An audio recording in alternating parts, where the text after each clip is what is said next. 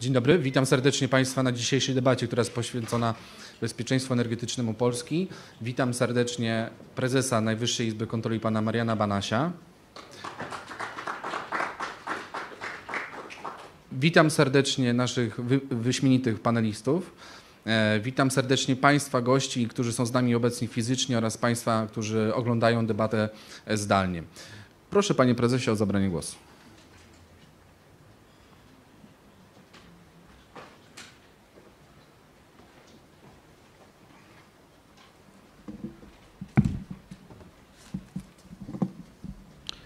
Szanowni Państwo, serdecznie Państwa witam na dzisiejszej konferencji, która poświęcona jest problematyce bezpieczeństwa energetycznego Polski.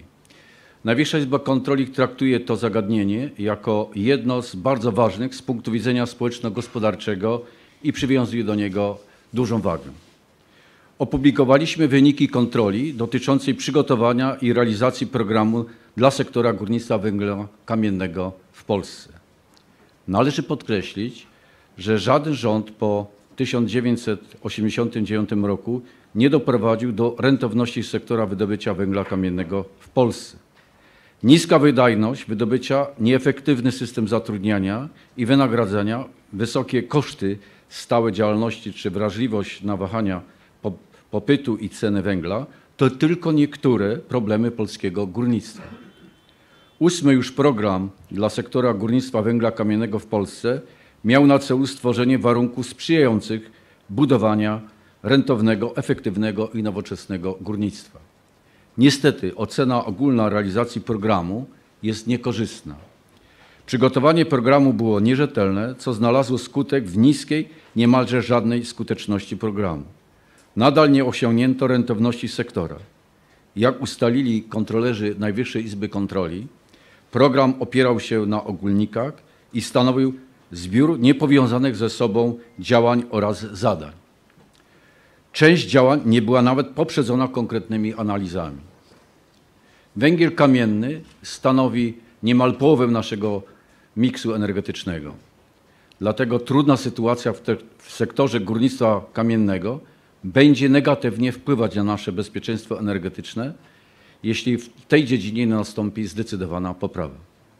Jest mi, proszę Państwa, niezmiernie miło, że mogę Państwa gościć na dzisiejszej konferencji, a teraz oddaję głos i życzę owocnych obrad na dzisiejszej konferencji. Dziękuję bardzo.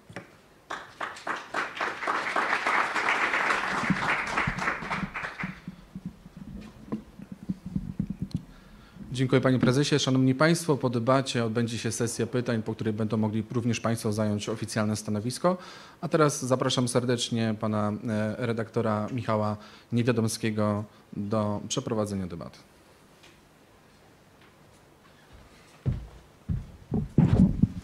Witam Państwa bardzo serdecznie. Zapraszam na scenę naszych gości, pani dr Aleksandra Gawlikowska-Fyk, Forum Energii. Witamy pięknie. Pan doktor habilitowany Grzegorz Tchorek za chwileczkę do nas tutaj dojdzie, ale zapraszam teraz pana premiera Janusza Steinhoffa. Panie premierze, bardzo proszę. Pana Piotra Woźniaka. Panie prezesie, zapraszamy. I pana Macieja Maciejewskiego, dyrektora Departamentu Gospodarki Skarbu Państwa i Prywatyzacji Najwyższa Izba Kontroli. Zapraszamy. Tytuł dzisiejszego spotkania to Bezpieczeństwo energetyczne Polski. Co zrobić, aby nie zabrakło nam energii?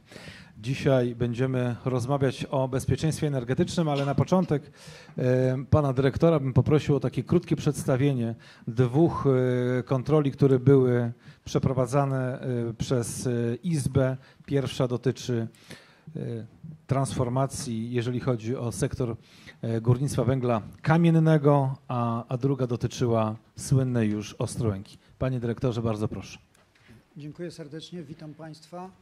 E, jest mi bardzo miło powitać Państwa w środku tego kryzysu, myślę, że tak należy o tym mówić, już energetycznego, który trwa. E, w sytuacji, kiedy państwo podejmuje już działania doraźne, które jak wiemy no, z natury swojej i z definicji mają krótkotrwały efekt, są wysoce kosztowne i nie załatwiają, e, nie załatwiają e, przyczyn problemów w żaden sposób, natomiast e, jedynie mierzą się z, doraźnie ze skutkami.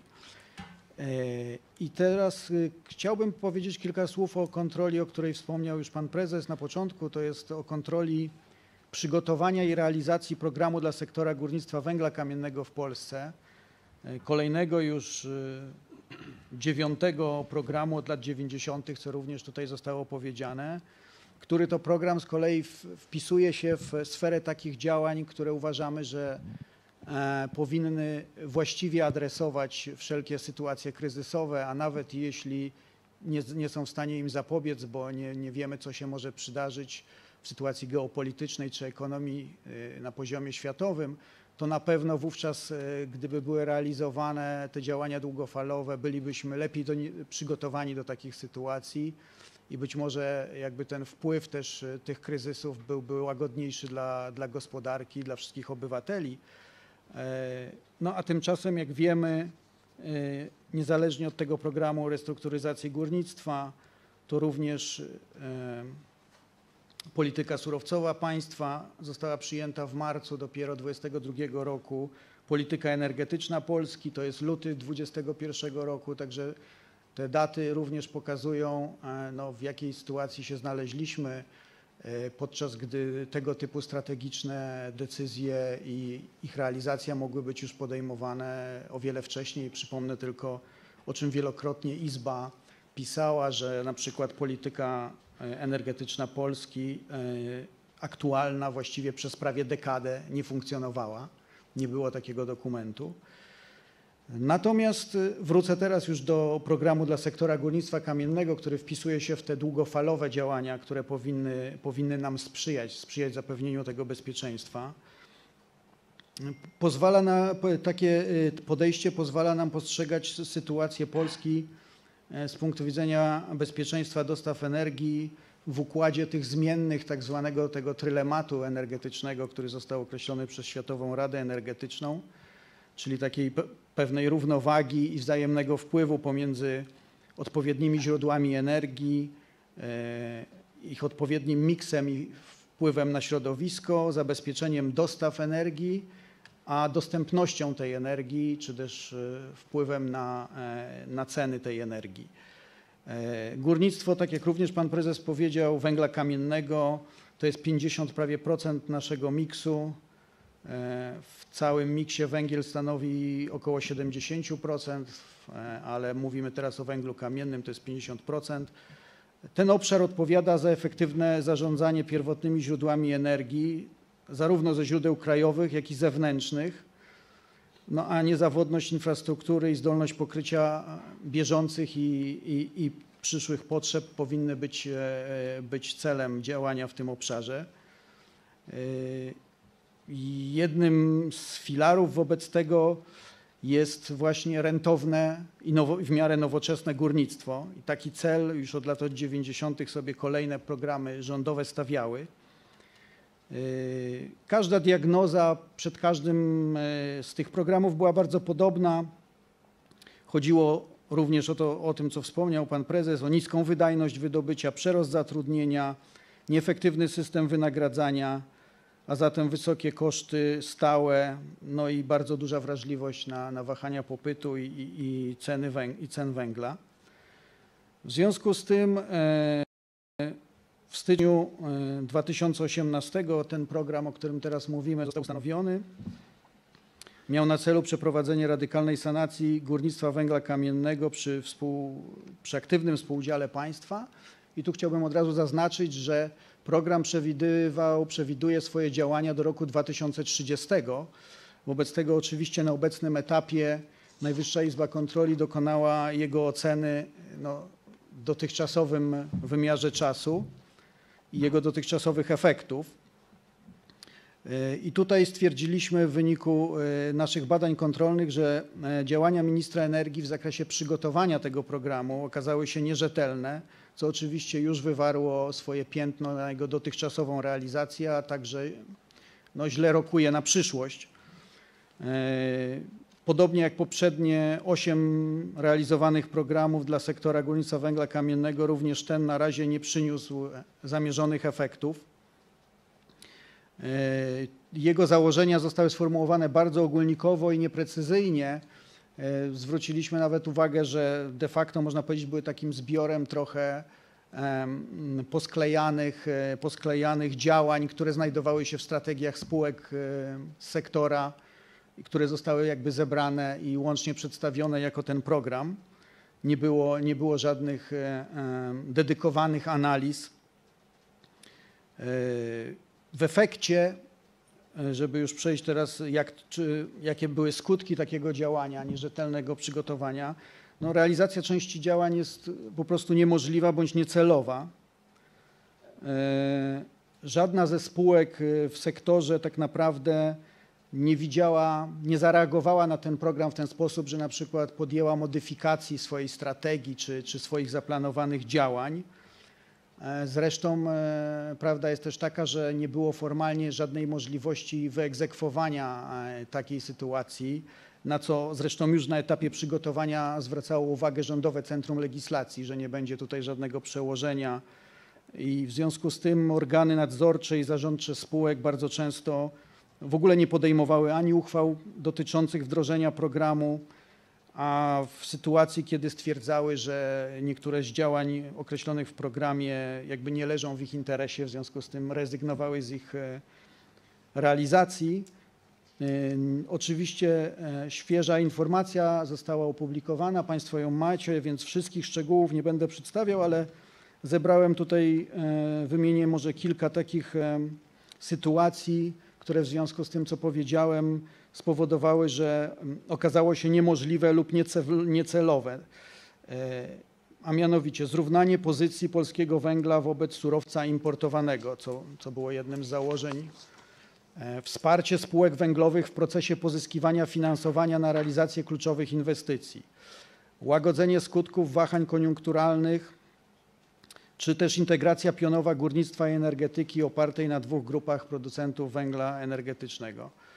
Brak analiz i dalsze zaniechania działań przewidzianych w programie, mm, które się okazały nieopłacalne. Tu mogę wymienić jako przykład program rozbudowy i modernizacji systemowego dostarczania ciepła do użytkowników indywidualnych, program promocji polskiego węgla i programu wsparcia polityki eksportowej, nowych standardów i metodyki oceny bazy zasobowej, czy też przedeksploatacyjnego ujęcia, e, ujęcia metanu z pokładów węgla.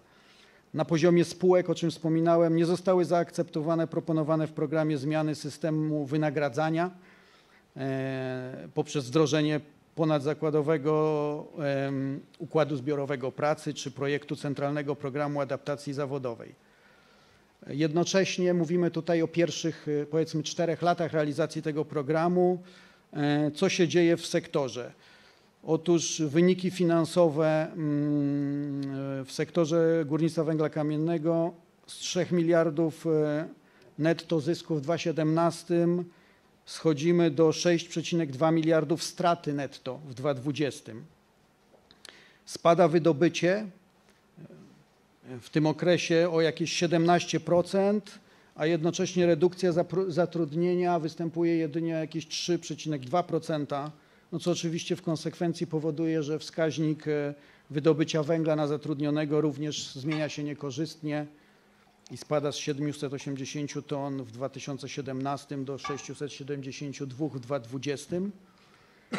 Również w tym okresie, czyli w tym okresie pierwszych lat y, funkcjonowania tego programu dotychczasowych, rośnie zadłużenie kopalń z około 7 miliardów w 2017 roku do rzędu 14 miliardów w 2020 roku.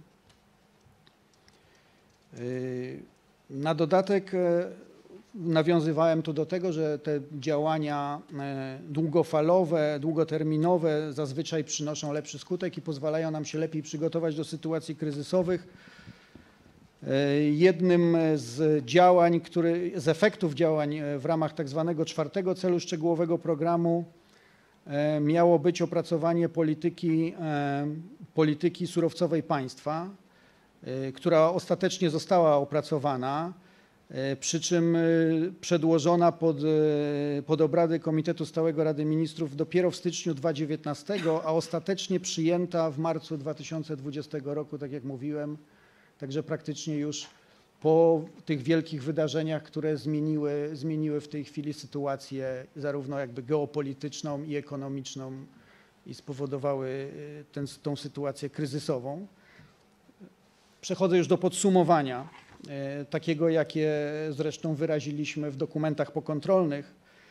I uznaliśmy, że w tej sytuacji zmiany uwarunkowań funkcjonowania sektora energetycznego, w tym sektora górnictwa węgla kamiennego oraz rozwój sytuacji ekonomicznej na świecie i geopolitycznej, który nastąpił w 2020 roku, wymaga opracowania realistycznego i możliwego do realizacji opartego na gruntownych analizach programu, który będzie spójny z długookresowymi strategiami uwzględniającymi trendy zachodzące w energetyce, w tym z polityką energetyczną Polski. I z takim też wnioskiem e, w informacji o wynikach kontroli wys- wystąpiła Najwyższa Izba Kontroli do ministra aktywów państwowych.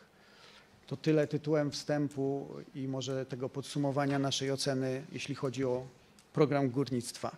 Bardzo dziękuję panie dyrektorze. Pan premier Janusz Steinhoff, były wicepremier i minister gospodarki w rządzie Jerzego Buzka, były też prezes Wyższego Urzędu Górniczego.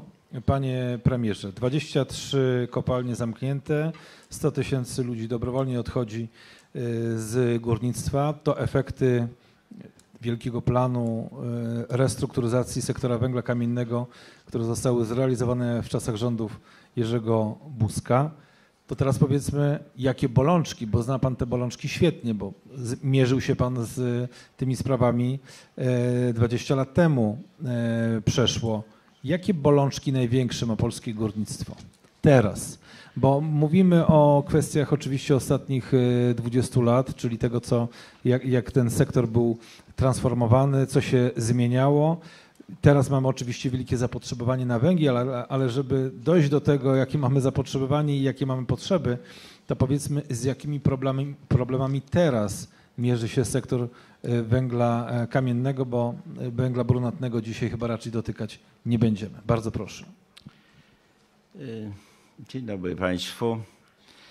Muszę powiedzieć tak, z wielką przykrością, że górnictwo węgla kamiennego jest to sektor, który jest restrukturyzowany e, przez państwo od 1989 roku. Kiedyś w tej branży pracowało y, około 400 tysięcy ludzi. Wydobywaliśmy jakieś 180 w PRL-u w najlepszym czasie 200 milionów ton węgla. Była to branża, można powiedzieć, dość nowoczesna w czasach poprzedniego systemu, natomiast tworzona jak większość naszego przemysłu w oderwaniu od ekonomii. 89 rok to zderzenie z normalnym rachunkiem ekonomicznym, nie e, socjalistycznym rachunkiem ekonomicznym, bardzo brutalne w skutkach e, społecznych, bowiem e, trzeba było likwidować kopalnie, które były e, stosunkowo e, nowe, budowane.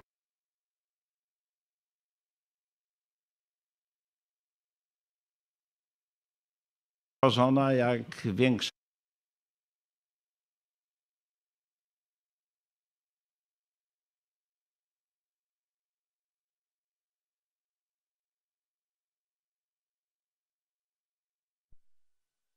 mm, społecznych y, było y, trudne do przyjęcia y, ze względów społecznych. Niemniej jednak konsekwentnie realizowaliśmy te programy. Zarówno hutnictwo, jak i górnictwo były to dwie branże najtrudniejsze, z którymi trzecia Rzeczpospolita sobie poradziła. Po pierwsze, górnictwo restrukturyzowane było przez wiele lat. Podzielam tę opinię, że były programy bardziej skuteczne i mniej skuteczne. Nieskromnie powiem, że rząd Jerzego Buzka, mając świadomość jeszcze w momencie, gdy obejmował władzę, wielkich wyzwań w tej branży, branża generowała ponad 2,5 miliarda strat rocznie, postanowił e, bardzo głęboko zrestrukturyzować branżę, nie stojąc od decyzji trudnych w społecznym odbiorze, czyli likwidacji kopalń trwale niewętownych i z tym związanych potężnych redukcji zatrudnienia. Redukcja zatrudnienia wyniosła w ciągu czterech lat 100 tysięcy osób. Likwidacja mocy produkcyjnych była znacząca.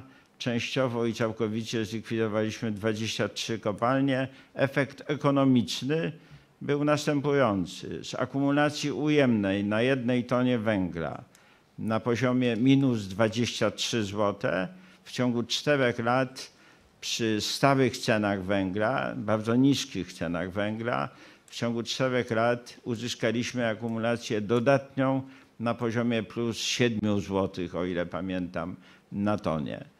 Natomiast nasi następcy kontynuowali tą, y, ten program. W- Tam były jeszcze trzy obszary, które trzeba było zrealizować. Natomiast później, później przyszedł czas dobrej koniunktury na węgiel, e, zdecydowanie wyższych cen węgla w Europie i na świecie i górnictwo stało się branżą rentowną, co mm, stworzyło warunki do braku motywacji kolejnych rządów do podejmowania jakichkolwiek decyzji e, porządkujących różne obszary w tej branży. Branża jest bowiem bardzo upolityczniona. E, Festiwal populizmu w odniesieniu do tej branży obserwujemy zawsze w kolejnych kampaniach wyborczych, gdzie politycy zapowiadają budowę kopalń, gdzie zapowiadają e, wstrzymanie jakichkolwiek procesów restrukturyzacji, które wynikają z ekonomii. E, Wielokrotnie e, rząd Jerzego Buzka publicznie to deklarował, że zamierzamy działaniami restrukturyzacyjnymi doprowadzić do sytuacji, w której górnictwo będzie rentowną, konkurencyjną branżą. No niestety później kolejne rządy nie miały wystarczającej motywacji. Większość naszych kopalń zlokalizowanych na Górnym Śląsku ze względów na warunki górniczo-geologiczne i, i w ostatnim czasie fatalne zarządzanie ma wyjątkowo niską wydajność pracy. Wydajność pracy w kopalniach zagranicznych to jest jakieś 4-5 tysięcy ton na pracownika, e, ton węgla na rok. Natomiast w, e, w Polskiej Grupie Górniczej, jak czytam w raporcie, który wczoraj otrzymałem, wynosi ta wydajność pracy 672 tony. Natomiast jeszcze w roku e, 2017 ta wydajność pracy wynosiła 780 e, ton na pracownika. E, Rosły oczywiście bardzo płace, nieadekwatnie do wzrostu wydajności czy poprawy wyników. Jest to branża, która praktycznie nie podlega żadnym mechanizmom, którym powinna podlegać. Jesteśmy w Unii Europejskiej, czyli obowiązują nas wszystkie przepisy związane z pomocą publiczną i ukazał się kilka lat temu raport Najwyższej Izby Kontroli obejmujący lata 2008-2017, o ile pamiętam, z którego to raportu Najwyższej Izby Kontroli wynikało, że górnictwo węgla kamiennego jako branża odprowadziła w formie należności cywilnoprawnych do budżetu państwa o miliard złotych mniej niż otrzymała w formie transferów z budżetu państwa, przy czym Najwyższa Izba Kontroli do tych transferów i słusznie zaliczyła transfery do FUS-u na e, emerytury górnicze, które mają specyficzny charakter. Także mamy do czynienia z sytuacją wyjątkowo trudną. Jest kolejny program, który wynegocjował rząd ze związkami zawodowymi. Ja myślę, że ten program likwidacji mocy produkcyjnych trwale, w trwale nierentownych kopalniach powinien być e, skorelowany z redukcją mocy wytwórczych e, w elektrowniach opartych na węglu kamiennym.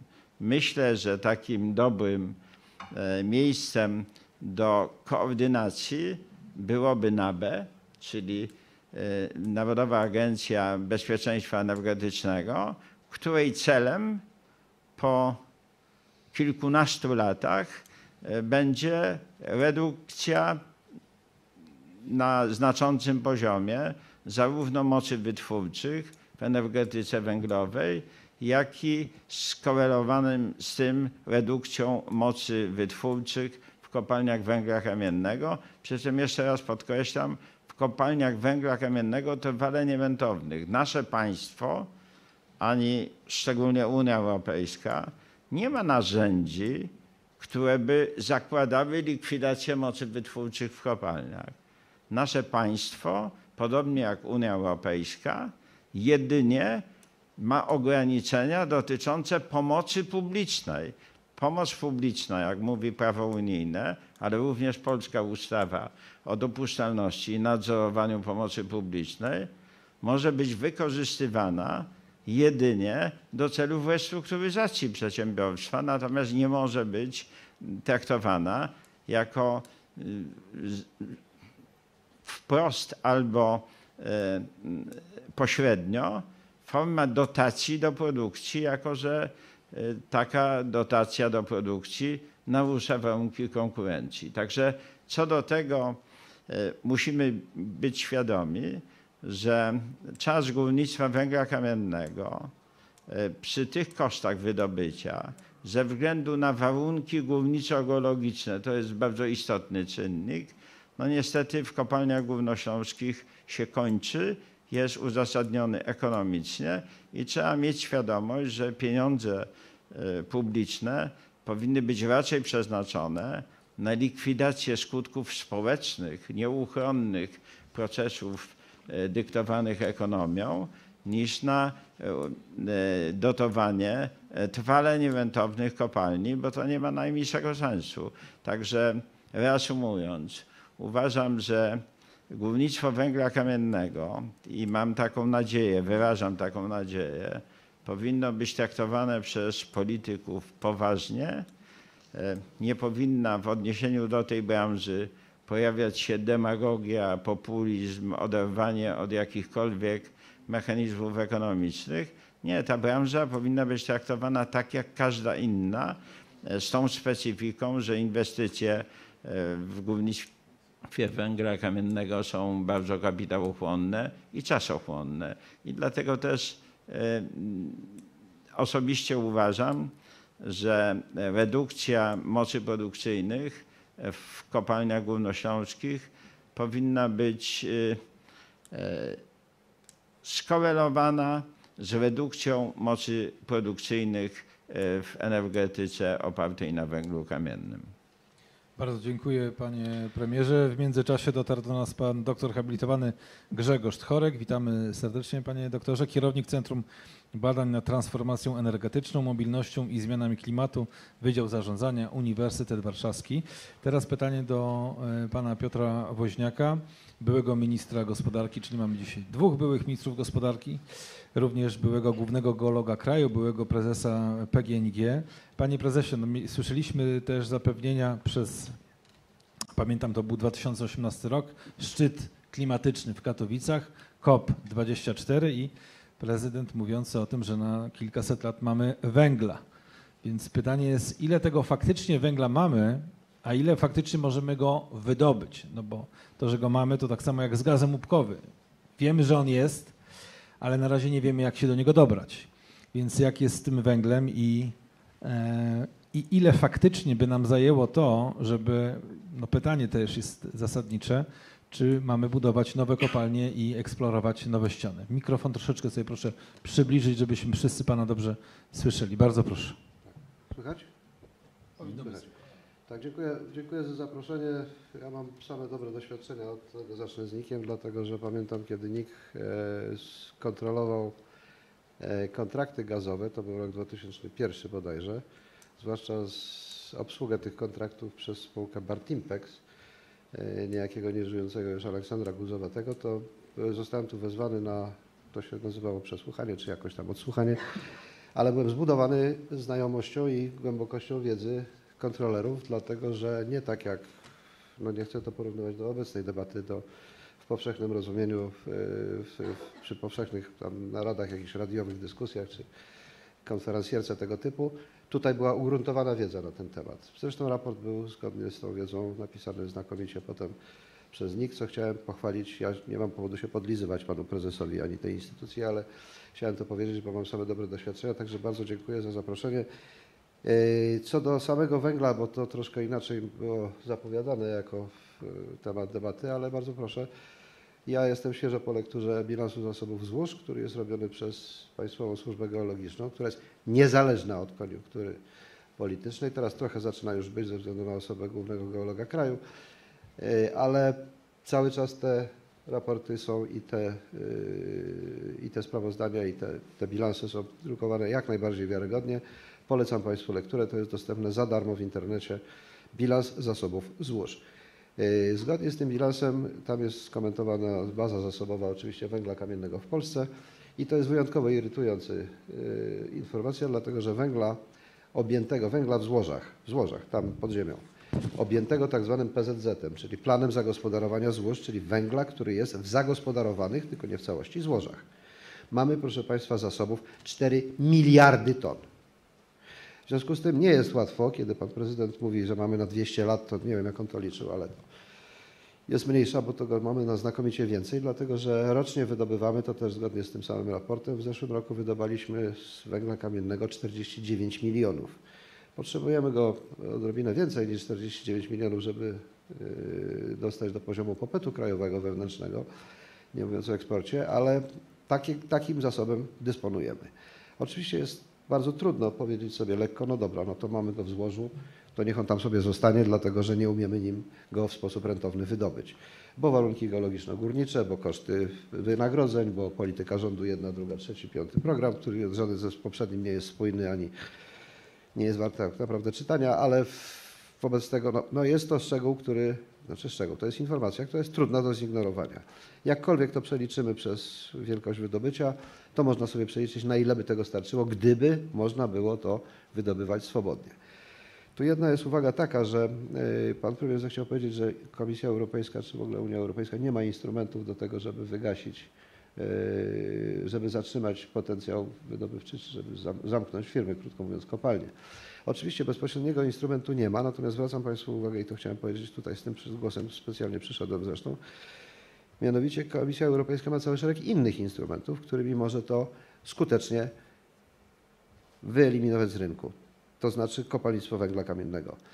W tej chwili takim instrumentem jest rozporządzenie o emisji, kontroli emisji metanu z kopalni, między innymi z kopalni węgla, który to, które to rozporządzenie, jak wiadomo rozporządzenia, tu pan poseł na pewno mi potwierdzi, wchodzi bezpośrednio do, do porządku prawnego, nie ulega żadnym derogacjom, ani żadnym uzgodnieniom, ani prze, przełożeniu na polskie prawo, czy krajowe prawo, tylko wchodzi wprost. Otóż w tym, w projekcie tego rozporządzenia, które w tej chwili, to też jeszcze dygresja, wyszło z ITRE i z ENVI, czyli z dwóch komisji parlamentarnych w, w Europarlamencie i pójdzie za chwilę do, pod, pod obrady Rady Europejskiej. W tym rozporządzeniu jest zawarta prosta i, i, i informacja. Jest zakazana emisja metanu, między innymi, bo tam z całego szeregu y, instrumentów, ale również ze stacji odmetanowania, zabroniona. Nie warunkowo zabroniona, jak się zapłaci, to można, a jak się nie zapłaci, to nie można. Nie. Zakazana jest emisja z, z y, metanu z y, stacji odmetanowania od 1 stycznia ostatecznie 2025 roku. Co oznacza, proszę Państwa, nie wiem, czy kto- ktoś z Państwa jest praktykiem, ale na pewno jest tu kilku, w, e, jeżeli stacje odmetanowania nie będą mogły działać, a nasze stacje odmetanowania emitują gigantyczne ilości metanu, dlatego że pracują nieregularnie, nie zużywają tak jak powinny metanu, który się wydobywa z, e, w czasie procesów górniczych, nie zużywają go na cele energetyczne, bo ich po prostu nie zużywają, bo nie potrafią, nie są do tego przystosowane. W związku z tym bardzo dużą część metanu, która trafia do stacji odmetanowania, jest bezpośrednio emitowana do powietrza, bez spalania nawet. I jeżeli te stacje zostaną zamknięte ze względu na rozporządzenie i treść rozporządzenia, które za chwilę pewnie wejdzie w życie, to nikt odpowiedzialny, proszę Państwa, żaden kierownik ruchu nie spuści ludzi na dół. Bez odmetanowania, które musi trwać równolegle z eksploatacją, nikt nie pośle ludzi na dół, bo to jest posyłanie ludzi na pewne niebezpieczeństwo, nie chcę mówić gorzej. Jeżeli zostaną, jeżeli ludzie nie zostaną posłani na dół, no to oczywiście nie będzie wydobycia. I w tym sensie instrumenty, takie instrumenty, trochę bardziej perfidne niż prosty zakaz, yy, o którym pewnie myślał pan premier Steinhoff, kiedy o tym mówił, są dostępne i mamy, je, mamy go, taki jest jeden, pierwszy taka, taki zwiastun, on jest bardzo pilnie monitorowany, to, to rozporządzenie przez skądinąd niezbyt życzliwego Polsce komisarza w, w, w Komisji Europejskiej. Za chwilę wejdzie w życie. Jest wielkim wyzwaniem dla naszych spółek górniczych przede wszystkim, niekoniecznie dla polityków, bo to lepiej, żeby się tego nie dotykali, jak zmodyfikować te stacje odmetanowania po to, żeby one były w stanie metan wydobywany w procesie ciągle, trwają, ciągle, ciągle trwającym procesie odmetanowania, żeby go zużyć na cele no, najlepiej energetyczne oczywiście. To jest ogromny nakład pracy, ale nikt się, o ile, bo ja monitoruję tę sytuację od strony yy, urzędów w, tym, w Unii Europejskiej, w Komisji Europejskiej, nikt z polskiej strony nie wystąpił, a byłoby to naturalne, na przykład o specjalny fundusz na to, żeby stacje odmetanowania zmodernizować w taki sposób, żeby one zużywały w całości ten metan, który jest w stanie, który do nich dopływa, a dopływa do nich wciąż.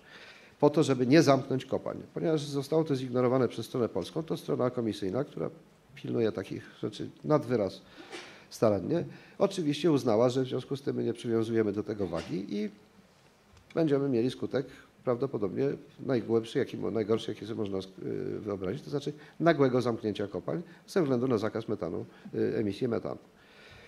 To jest uwaga co do instrumentów, bo nie żyjemy w pustce, proszę Państwa, ani w próżni. Jesteśmy członkami Unii Europejskiej. Musimy się słuchać, sami do tego przykładamy zresztą rękę do wszelkiego rodzaju regulowań i- ustaleń i tak prawdopodobnie będzie, co w związku z tym możemy odłożyć dyskusję na temat przyszłości sektora górnictwa węgla kamiennego na półkę, bo jeżeli kopalnie z mocy choćby tego rozporządzenia zostaną po prostu wstrzymana ich praca, to eliminacja tego sektora odbędzie się w sposób samoistny. Ja chciałem przypomnieć tutaj dwie rzeczy, o których zdążyliśmy jeszcze w gabinecie pana prezesa wspomnieć. Tutaj były, są, są dwa podejścia generalnie do obchodzenia się z sektorem górniczym, wydobywczym. Jeden to taki, który zaprezentował y, rząd pana premiera Buzka y, rękami pana premiera Steinhoffa, został wykonany. Program restrukturyzacji taki gwałtowny, to znaczy jednoznaczny i, i, i krótkotrwały, ale skuteczny. To jest, to było właśnie zryta redukcja zatrudnienia o 100 tysięcy osób i y, zamknięcie ponad 20 kopalń, jedne, jedna po drugiej, tych jak wtedy oceniano nierentownych. Zaraz powiem o tym, jak się zmieniła sytuacja, jeżeli pan redaktor mi jeszcze powie. Druga metoda, to to jest jedna. Druga metoda to jest taka, jaką przyjęli Niemcy do swojego sektora węglowego. Tam królowała taka wielka spółka niemiecka, która się nazywa RAG, o niej nie ma w tej chwili już śladu.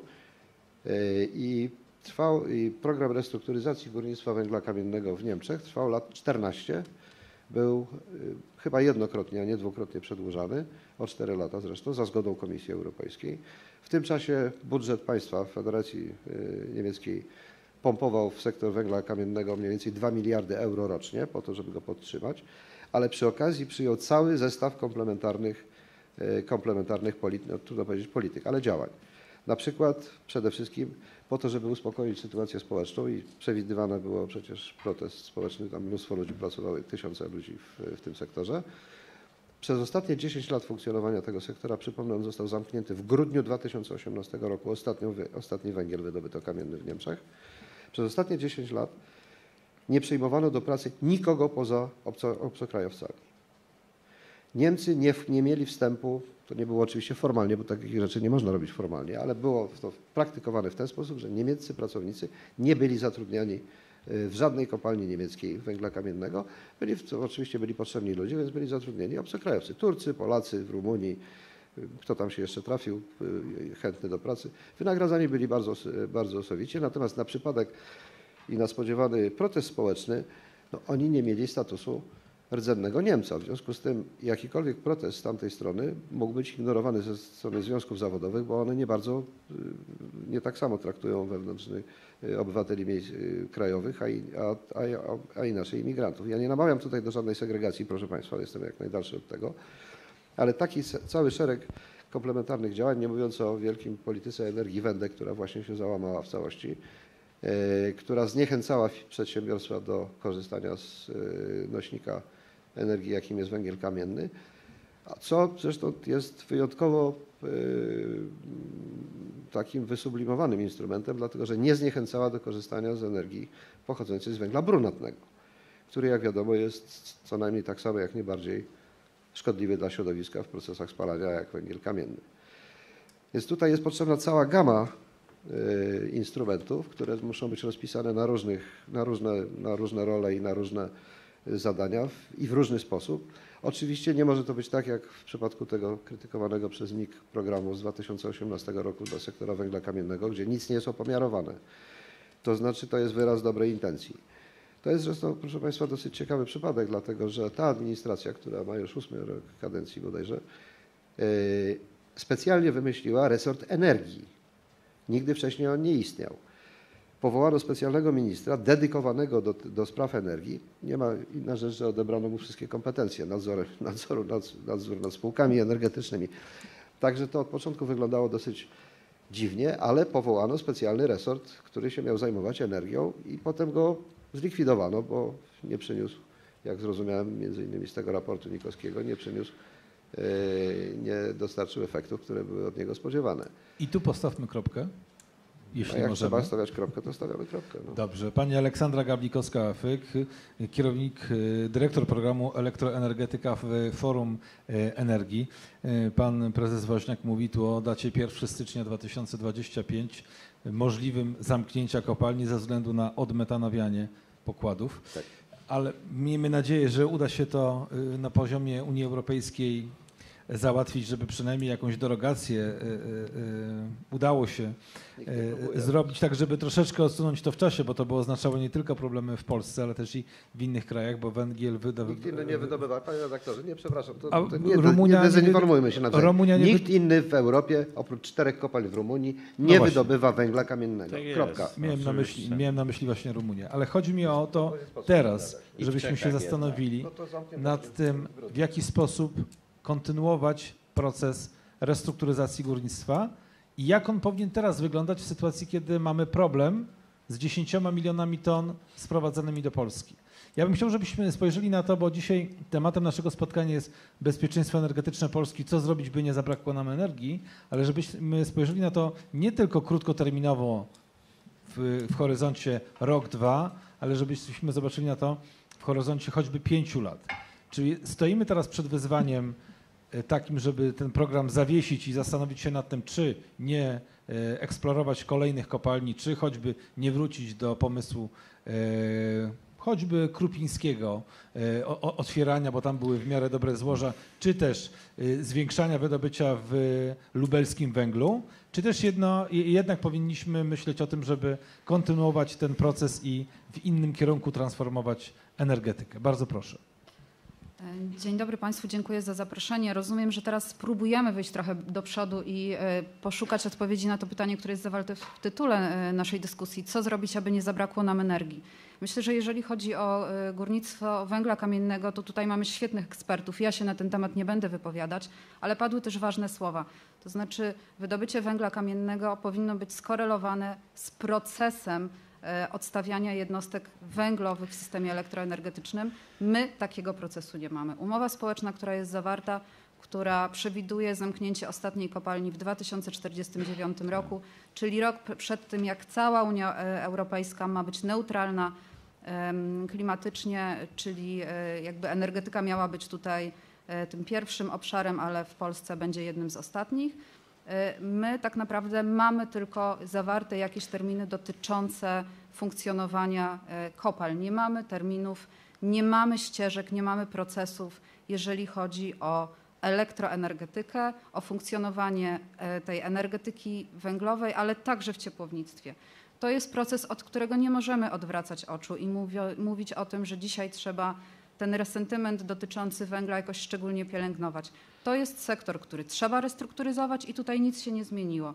Natomiast trzeba zająć się energetyką, ponieważ mam wrażenie, że ile rzeczywiście kilka lat temu koncentrowaliśmy się na tym, że bezpieczeństwo energetyczne to są dostawy gazu, bezpieczeństwo energetyczne to jest krajowy węgiel, w tej chwili zaczynamy mówić, że bezpieczeństwo energetyczne jest wtedy, kiedy mamy ciepło i prąd.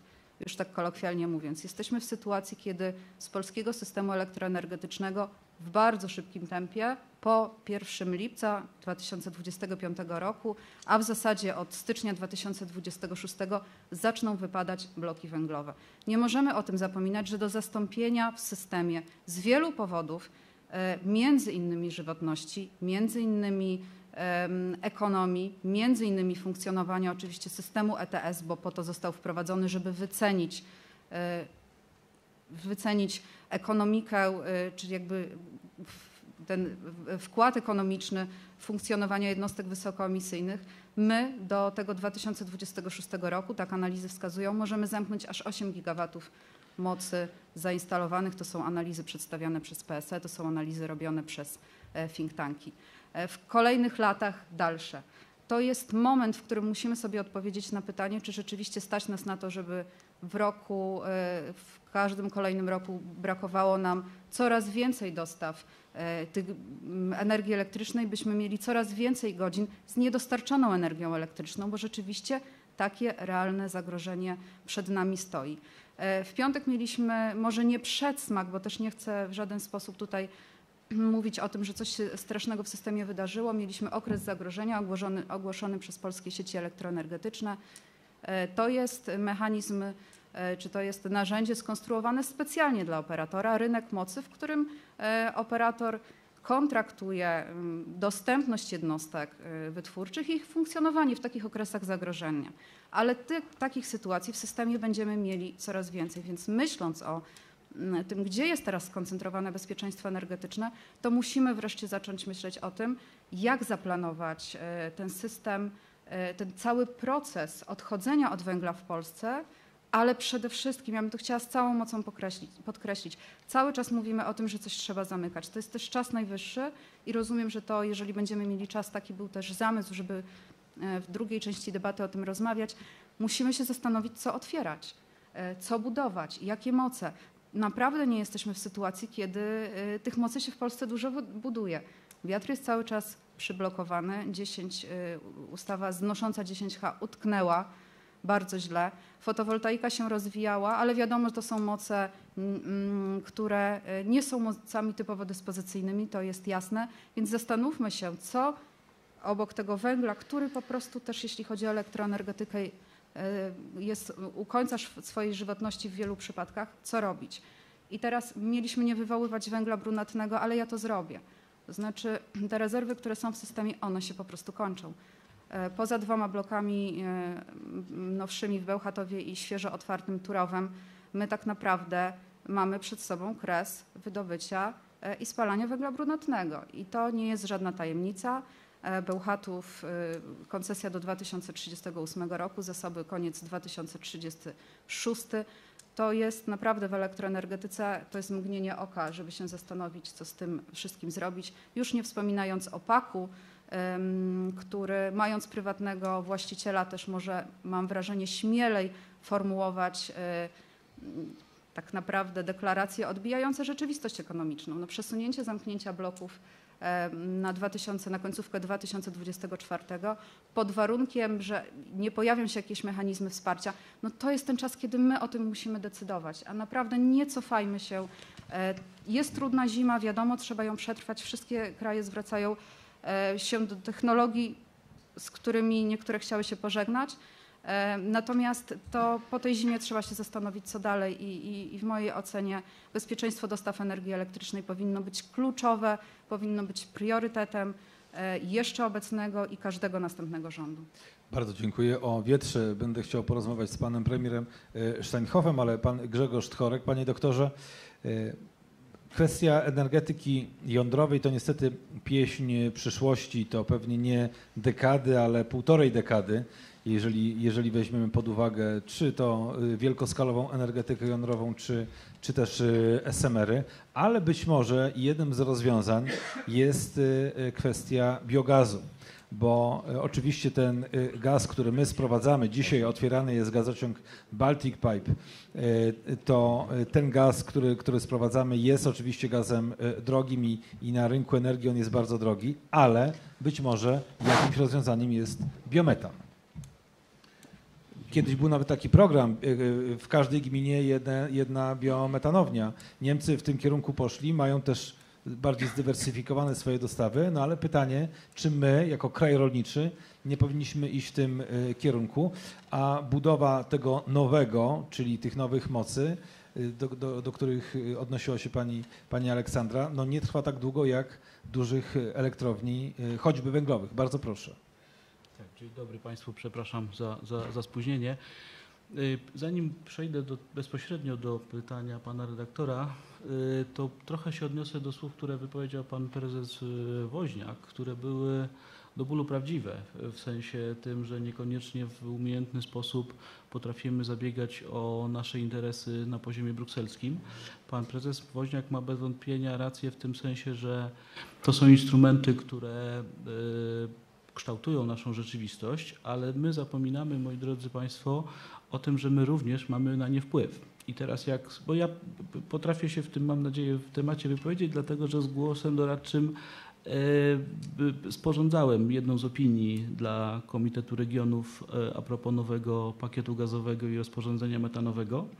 E, I problem decyzyjności w Unii Europejskiej polega na tym, że nie wystarczy mieć rację i nie wystarczy mieć w sposób uporządkowany argumenty, które się prezentuje, trzeba jeszcze przekonać innych.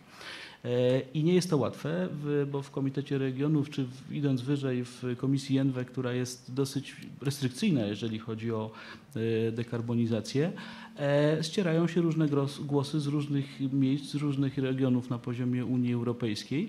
I to, co jest naszym problemem, i, i myślę, że tu każdy z nas częściowo musi się uderzyć w pierś, to jest to, że my nie potrafimy swojego głosu na poziomie centralnym europejskim y, zaakcentować i, i, i zaprezentować. Niestety nie wystawiamy y, dostatecznie dobrze przygotowanych zawodników do tych meczów, które tam y, rozgrywamy. Y, Nie zawsze przedstawiciele naszych instytucji potrafią w sposób konstruktywny zabrać w tych debatach głos, a co sprawia, że mamy mniej argumentów w zakresie przekonywania tego, co chcielibyśmy osiągnąć. Tu z tych wątków, które pan prezes podnosił, jest wiele rzeczy, które próbowaliśmy zrobić na poziomie Komitetu Regionów, czy wydłużenie okresów przejściowych, czy przekonanie uczestników tej debaty do tego, żeby można było ten metan e, spalać po to, żeby wykorzystywać go jako, jako źródło e, energii.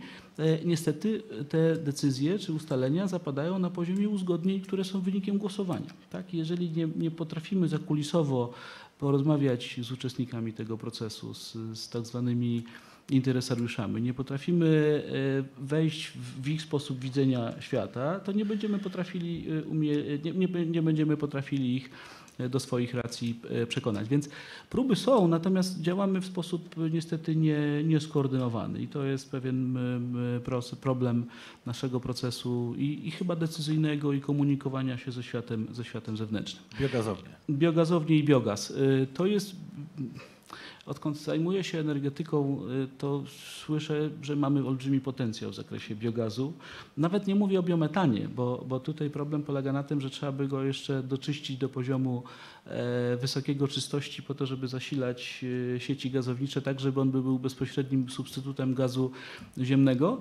Natomiast e, dużo powszechniej i prościej, i to się odbywa w Polsce, ale niestety na niewielką skalę, to jest kwestia wytwarzania e, biogazu i e, zużywania go jako źródła energii.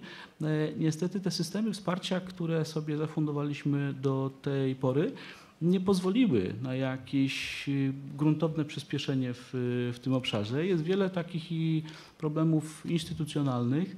Na pewno system wsparcia musi być odpowiednio skonstruowany i bodźcujący do tego, abyśmy y, w tym obszarze funkcjonowali.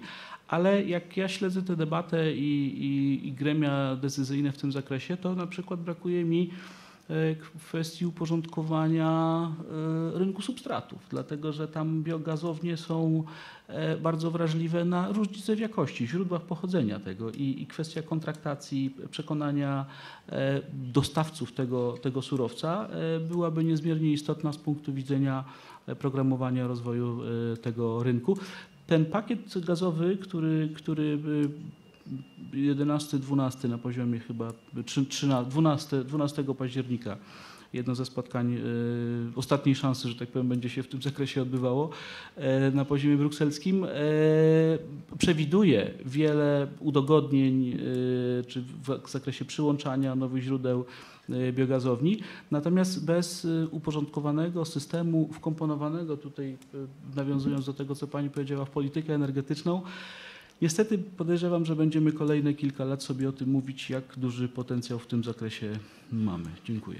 Bardzo dziękuję Panie Premierze. No, chciałem o, te, o, o- tym wietrze trochę też y, porozmawiać, bo rozmawiamy o tym, co zrobić, by nie zabrakło nam y, energii.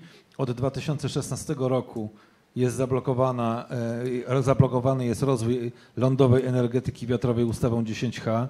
Tak jak pani Aleksandra wspomniała, utknęła ta nowelizacja w zamrażarce pani marszałek Elżbiety Witek, choć opozycja deklaruje, że chętnie poprze te, te, te zmiany, bo na różnych konferencjach mamy, mamy okazję rozmawiać z politykami, to, to wszyscy politycy opozycji mówią, tak, energetyka wiatrowa powinna zostać e, uwolniona. Na energetykę morską musimy trochę poczekać i to do końca nie jest tak, jak mówi, jak mówi część e, osób wypowiadających się w energetyce, że, że energetyka wiatrowa jest sprzeczna z, z energetyką węglową, bo w piątek na konferencji Silesia w Katowicach w siedzibie Śląsko-Dąbrowskiej Solidarności, czyli można powiedzieć w tym takim jądrze e, związkowym, jeżeli chodzi o, o górników, zaprezentowano raport Polskiego Stowarzyszenia Energetyki Wiatrowej Węgiel plus Wiatr, gdzie pokazano, że właśnie bloki 200 MW po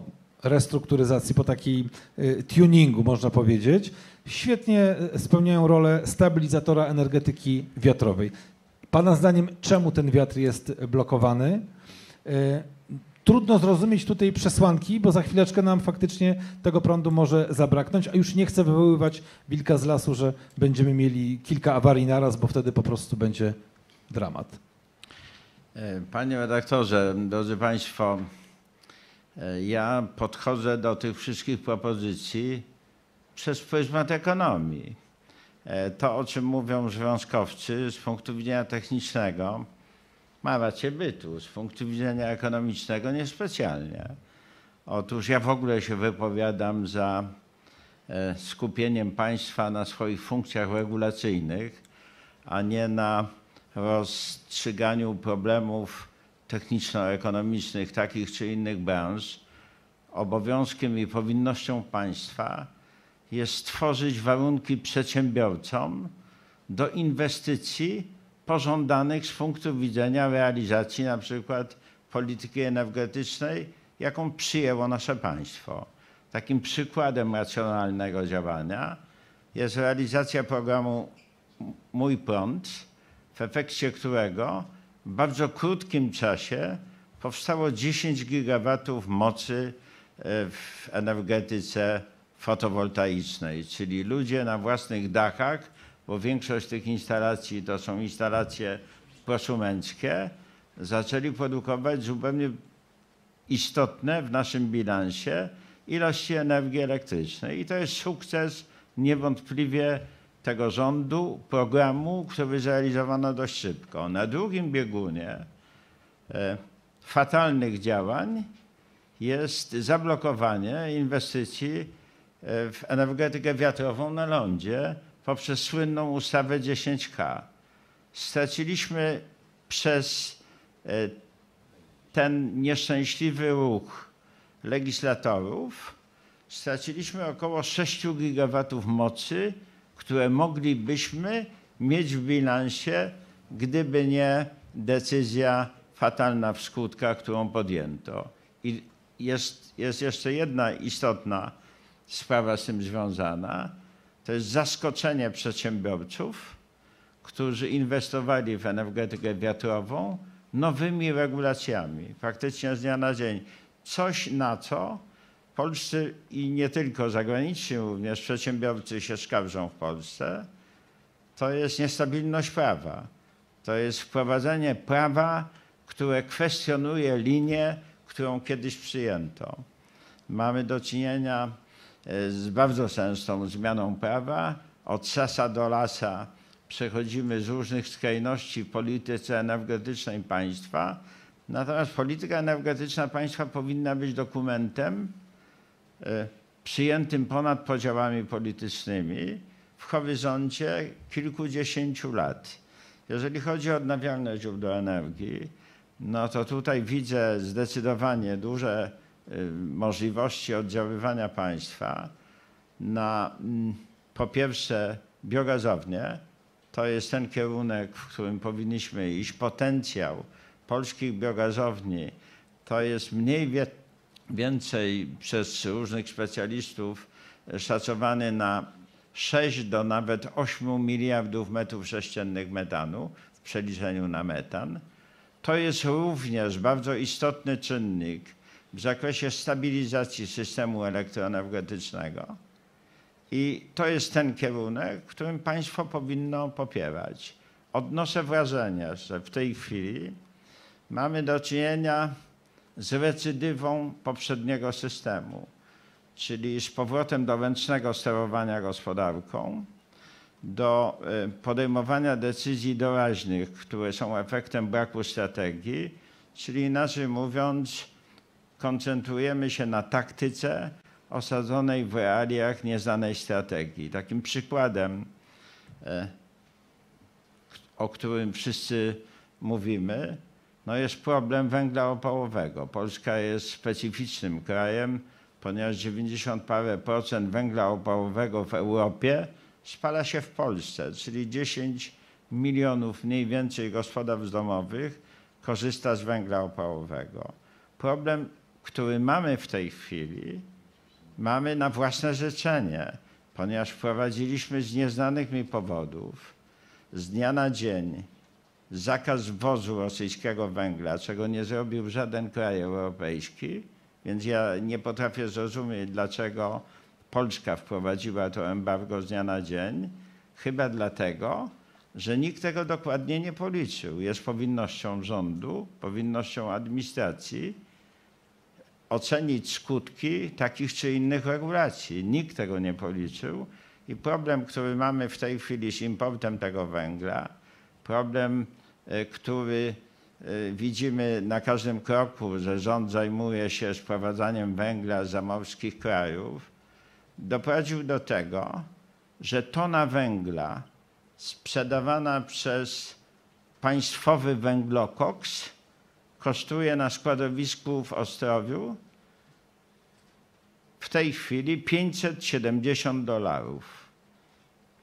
To są sumy, zdecydowanie wyższe niż fala, czyli w Amsterdamie, Rotterdamie i Antwerpii. No, to jest efekt zakłócenia na rynku w sposób nieprzemyślany przez administrację państwową. I kolejna już sprawa, na którą chciałbym zwrócić uwagę, koncentrując się na tych regulacyjnych funkcjach państwa i na funkcjach sprawczych tam, gdzie jest to istotne to jest infrastruktura. Jest powinnością państwa w ramach dbałości o bezpieczeństwo energetyczne zbudować albo też stworzyć warunki motywujące do budowy konieczną infrastrukturę do importu węgla na przykład. My nie dysponujemy taką infrastrukturą. I to jest powinność państwa. Powinnością państwa nie jest ręczne sterowanie taką czy inną elektrownią, czy polską grupą górniczą, powinnością państwa jest tworzenie racjonalnych mechanizmów i podkreślam to z całą mocą i konkurencyjnego rynku, zarówno nośników energii, jak i samej energii.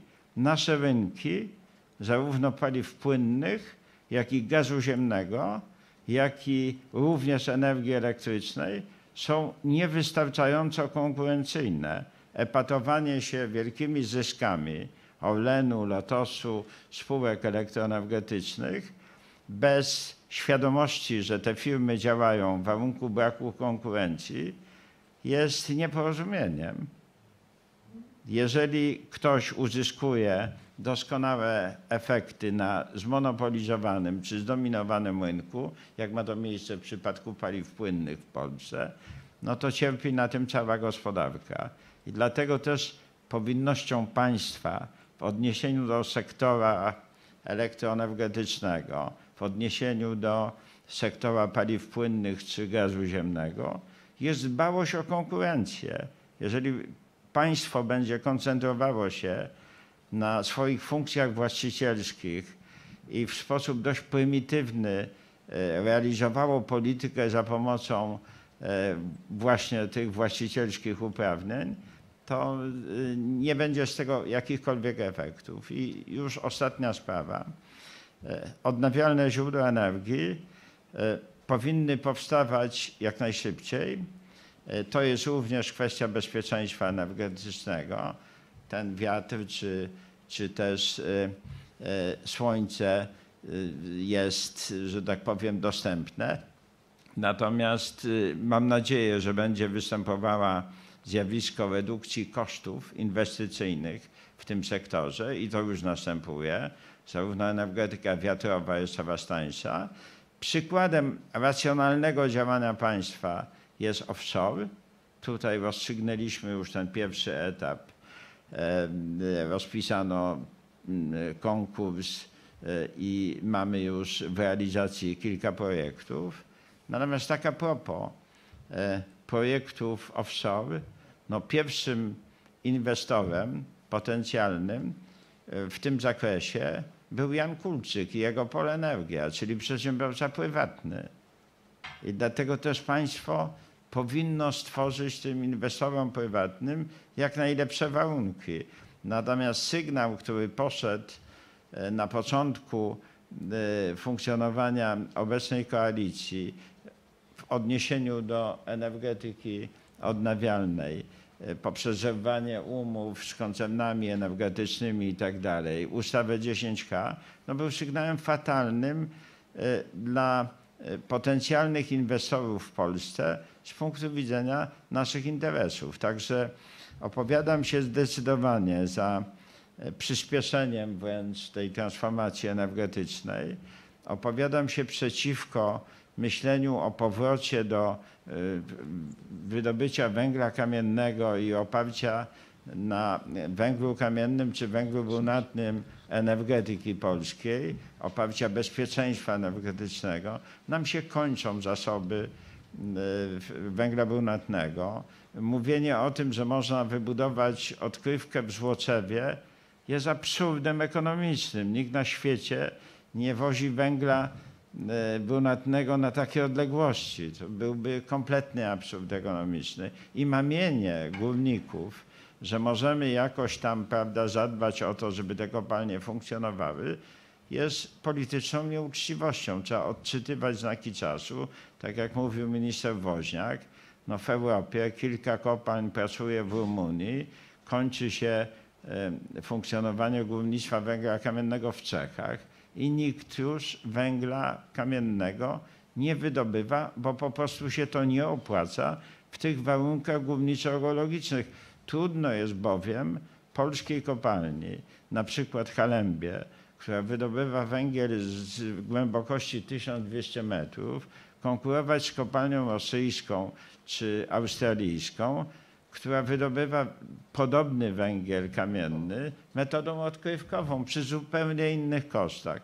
Natomiast pogrążeniem polskich kopalń będzie naliczenie, ostatecznym pogrążeniem, tak jak również mówił pan minister Woźniak, no będzie po pierwsze naliczenie opłat za emisję metanu do atmosfery.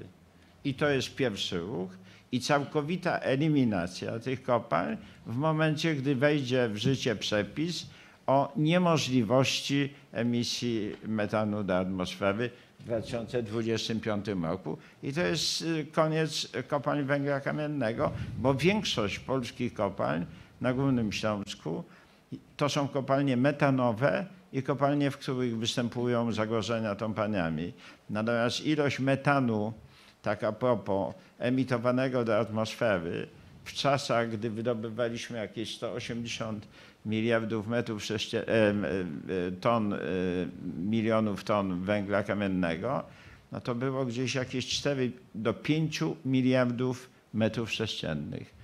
Teraz to jest trochę mniej, bo mniej wydobywamy. Mniej jest tych kopalń silnie metanowych. Część e, metanu się wychwytuje poprzez stację odmetanowania i produkuje z nich energię elektryczną, ale kierunek musi być jednoznaczny i dlatego też polityka energetyczna państwa, dokument, który przyjęto, powinien być realizowany za pomocą skutecznych narzędzi, natomiast y, no niestety nie wystawia dobrego świadectwa e, kolejnym rządom niekończąca się od 20 lat dyskusja, czy i gdzie będziemy budować elektrownię atomową.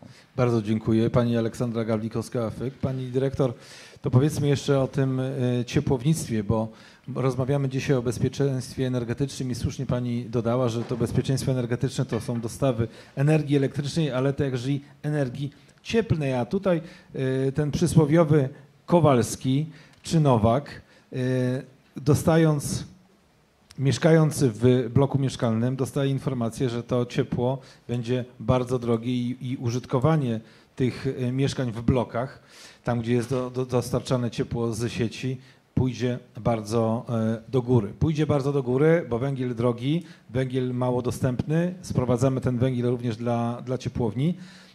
I też poproszę o taką pewną perspektywę, bo chciałbym, żebyśmy z dzisiejszej debaty też wyszli z pewnymi takimi rekomendacjami, co należy zrobić, gdzie byśmy się chcieli znaleźć za rok, dwa czy pięć, czyli co należałoby zrobić w przypadku ciepłowni. Ja wiem, że Forum Energii ma taki duży, duży nacisk kładzie na transformację sektora ciepłowniczego, czyli co powinniśmy zrobić, żeby to ciepło y, nas nie przygniotło, żeby się od ceny, którą zobaczymy na rachunku, nam nomen omen ciepło nie zrobiło. Czyli czym mamy się grzać, bo chyba nie gazem. My, pomysł był taki, że, że ten gaz, który popłynie między innymi z Baltic Pipe dzisiaj otwieranego, no będzie, będzie zasilał polską elektroenergetykę, no ale przy tak gigantycznych cenach gazu ci wszyscy, którzy planują koszty, zastanawiają się, czy ten OPEX, czyli, czyli te koszty, które mamy operacyjne, nam się pospinają. Pani dyrektor, jak reformować to ciepłownictwo? Dziękuję bardzo za pytanie. Rzeczywiście temat, ale powiem krótko, bo też nie mamy dużo czasu. Temat ciepłownictwa jest nam bliski, dlatego że tym obszarem nikt się nie zajmował. My kilka lat temu już na, daliśmy jednej z analiz tytuł Ostatni dzwonek dla ciepłownictwa. To jest rzeczywiście sektor, który jest bardzo rozproszony, y, nie jest, y, często właścicielem są spółki miejskie, gminne i tak dalej, więc y, bardzo niedoinwestowany. E, obszar, w którym mamy znowu dużo węgla, tak samo w ciepłownictwie systemowym, jak i w ogrzewnictwie indywidualnym. E, no i też obszar, który tak samo w dużym stopniu jest, e, funkcjonuje w ramach systemu ETS. I no, problem polega na tym, że ta strategia dla ciepłownictwa, ona się dopiero też lata była dyskutowana, dopiero się gdzieś pojawiła mm, ze strony Ministerstwa Środowiska i Klimatu. Natomiast y, no jest już trochę późno. Ja powiem szczerze, to znaczy nam się od tych rachunków zrobi gorąco, nam się nie tylko zrobi ciepło. To jest okres, w którym są taryfowane spółki ciepłownicze, właśnie teraz przed sezonem grzewczym. Już wcześniej część y, składała wnioski do Urzędu Regulacji Energetyki y, dotyczące podwyżek ciepła i słyszeliśmy o tym, że to jest 70%, czasem nawet więcej. E, oferty, które dostają e, czy samorządy, czy odbiorcy, którzy prowadzą działalność gospodarczą, są jeszcze i jeszcze znacznie wyższe. Naprawdę przyspaliśmy dyskusję o transformacji ciepłownictwa e, i to jest teraz moment, kiedy trzeba się zastanowić, co z tym zrobić. Można zrobić sporo, to znaczy To nie jest tak, że gaz w naszym systemie, w naszej energetyce nie jest potrzebny. Jeżeli myślimy o jakimś obszarze, to będzie to właśnie kogeneracja między innymi. E, To jest gaz, który powinien być w mojej ocenie, pan prezes Woźniak się może ze mną nie zgodzić, ale przede wszystkim spalany w systemach ciepłowniczych, a nie w indywidualnych gospodarstwach domowych. E, Natomiast trzeba myśleć o różnych technologiach. Trzeba myśleć o pompach ciepła e, i to jest temat, który już trochę dzisiaj padł. To znaczy Polacy już decydują, co chcą. My jesteśmy rynkiem najbardziej dynamicznym, jeżeli chodzi o instalacje pomp ciepła, na które się teraz czeka. Tak? To, to mm, rozmowa z panem redaktorem, z wieloma znajomymi, którzy chcą to zrobić w tej chwili. Jest już późno, ale o tym trzeba myśleć. To oczywiście będzie wpływało na funkcjonowanie systemu elektroenergetycznego i szczyty zimowe. Nie możemy o tym zapytać, więc znowu temat strategii. Jeżeli pompy ciepła, to tak, ale co z elektroenergetyką wtedy? No i oczywiście y, wszystkie technologie, o których trochę nie myśleliśmy, znaczy te, te biogazownie rzeczywiście. To jest, to jest ten temat. Y, Być może waste to energy w jakimś minimalnym stopniu, tam gdzie trzeba zapewnić potrzeby ciepłownicze. Bardzo dużo można zrobić, tylko trzeba się tym tematem zająć. Bardzo dziękuję. To pan y, prezes Woźniak, dosłownie na, na, na dwie minuty. Tylko mikrofon trzeba tutaj wziąć i bliżej. Wywołała, to ja się Bo, zgłosiłem. bo mnie się wydaje, że rzeczywiście to jest moment, kiedy trzeba zacząć o tym rozmawiać, gdzie, jeżeli ten gaz ma być, no bo przecież nie po to budowaliśmy infrastrukturę, żebyśmy całkowicie z niego Nie, rezygnowali, pani bo... dyrektor, to jest, pani dyrektor, to jest złe podejście, przepraszam. Znaczy, Ale pan może mieć inne, dlatego wywołuję specjalnie. Absolutnie, na to czekałem trochę, dlatego że nie ma lepszego sposobu na Oczywiście. przemianę e, energii chemicznej zawartej w jakimkolwiek paliwie na energię użyteczną niż kogeneracja albo trigeneracja łącznie z chłodem. Ale to właśnie Absolutnie to tak. Tak, No, tak. tylko, że do tego to jest to, coś, co, przepraszam, tu jest przytyk do Niku, zostało zignorowane, ponieważ NIK się sk- skupił w, przy kontroli sektora e, elektroenergetycznego i górniczego łączne, łącznie na systemach wytwarzania. Otóż, proszę Państwa, nie tu jest wąskie gardło. Jestem w stanie podjąć dowolną polemikę. Wąskie gardło jest w dystrybucji. Zauważcie Państwo, że teraz jakkolwiek by się, ile by się nie postawiło wiatraków, solarnych paneli czy coś, o, o nich jeszcze chcę osobno powiedzieć, nie ma jak tego prądu przepchnąć do sieci, dlatego że zdolność przesyłowa sieci została, została przekroczona. Oczywiście. Nie ma przyłączeń, jak teraz dzisiaj się dowiedziałem od pana dyrektora, który się tym zajmuje zawodowo. Do 2027 roku spółki dystrybucji 27, czyli na 4 lata jeszcze naprzód, czy 5 nawet, spółki nie przyjmują wniosków o przyłączenie, dlatego że ich sieci nie są w stanie znieść większego napięcia, które byłoby podawane, czyli natężenia i napięcia, które byłoby podawane do sieci. To jest co najmniej taki sam ważny problem, jak sam problem y, źródeł wytwórczych, ale mniejsza z tym. To jest osobny, osobny, na osobny, z całą pewnością na osobny temat i moim zdaniem NIK powinien również tym, tym się zająć, dlatego że cały czas jest modernizowane są sieci w taki albo w inny sposób i na ogół są modernizowane w substandardzie, to znaczy bez przewidywania przyłączenia większej ilości źródeł odnawialnych, jakkolwiek one działają. A na temat źródeł odnawialnych to, to jest to, co chciałem powiedzieć, mianowicie zwróćcie Państwo uwagę, że to, co w tej chwili jest tak obficie i y, w sposób taki bardzo, y, no chciałem, nie chciałem powiedzieć inaczej, ale trzeba powiem, jarmarczny, reklamowane, fotowoltaiczne panele albo pompy ciepła. Pompy ciepła to jest jeszcze osobny temat, ale sama fotowoltaika. Proszę Państwa, ja to już mówię któryś raz publicznie. Instalacje fotowoltaiczne bez magazynu energii, a na ogół takie się finansuje i takie się buduje, w przypadku braku napięcia w sieci dystrybucyjnej nie działają. Nie, nie, nie to, że działają trochę albo słabo działają, tylko nie działają. Chyba, że się ma magazyn energii, który wcześniej się napełniło. Na razie nie wymyślono lepszego magazynu energii niż bateria litowo-jonowa, która jest niesłychanie kosztowna, ale której już te y, dofinansowanie nie obejmuje. W związku z tym, jeżeli ktoś, kto sobie postawił panel fotowoltaiczny na dachu, uważa, że jest spokojny, bo to tak jakby sobie wyhodował sam marchewkę w ogródku, nie jest bezpieczny, bo na wypadek blackoutu w sieci, czyli zaniku napięcia nawet lokalnego przy wysprzęgleniu wyspowym, ten, ten, system, ten, ten układ y, fotowoltaiczny nie będzie działał, uwaga, w ogóle. Nie trochę, jak powiedziałem, albo słabo, tylko w ogóle. Nie to, że żarówka będzie bździć, tylko będzie czarna. I tu mam pytanie do pana Grzegorza Tchorka w związku z tym, bo musimy powoli zmierzać do końca, a jeszcze pan dyrektor Maciej Maciejewski chciałby za, y, y, zabrać głos. Czy w takim układzie ten kryzys, bo, bo chciałbym, żebyśmy tutaj taką y, klamrą spieli ten kryzys energetyczny i te dyskusje, bo Jesteśmy w środku tego kryzysu. Premier Buzek pyta, zwraca uwagę na to, żeby myśleć nie tylko o tej zimie, ale o też o tej przyszłej, kolejnej w 20 w 2023 roku, bo wtedy też będzie trudno, a być może jeszcze trudniej, bo nie wiemy, jakie wtedy będą ceny.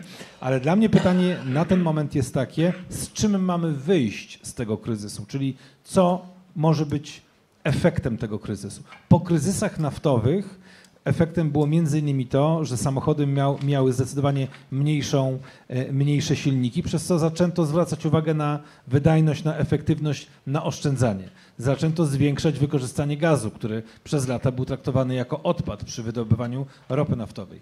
I czy w takim układzie ten kryzys nie będzie szansą na transformację, ale też w tym kierunku przyspieszenie, takie turbodoładowanie, jeżeli chodzi o rozwój wodoru. Panie doktorze, czy to nie jest właśnie teraz ten moment i ten czas, żebyśmy zrobili tak zwaną ucieczkę do przodu?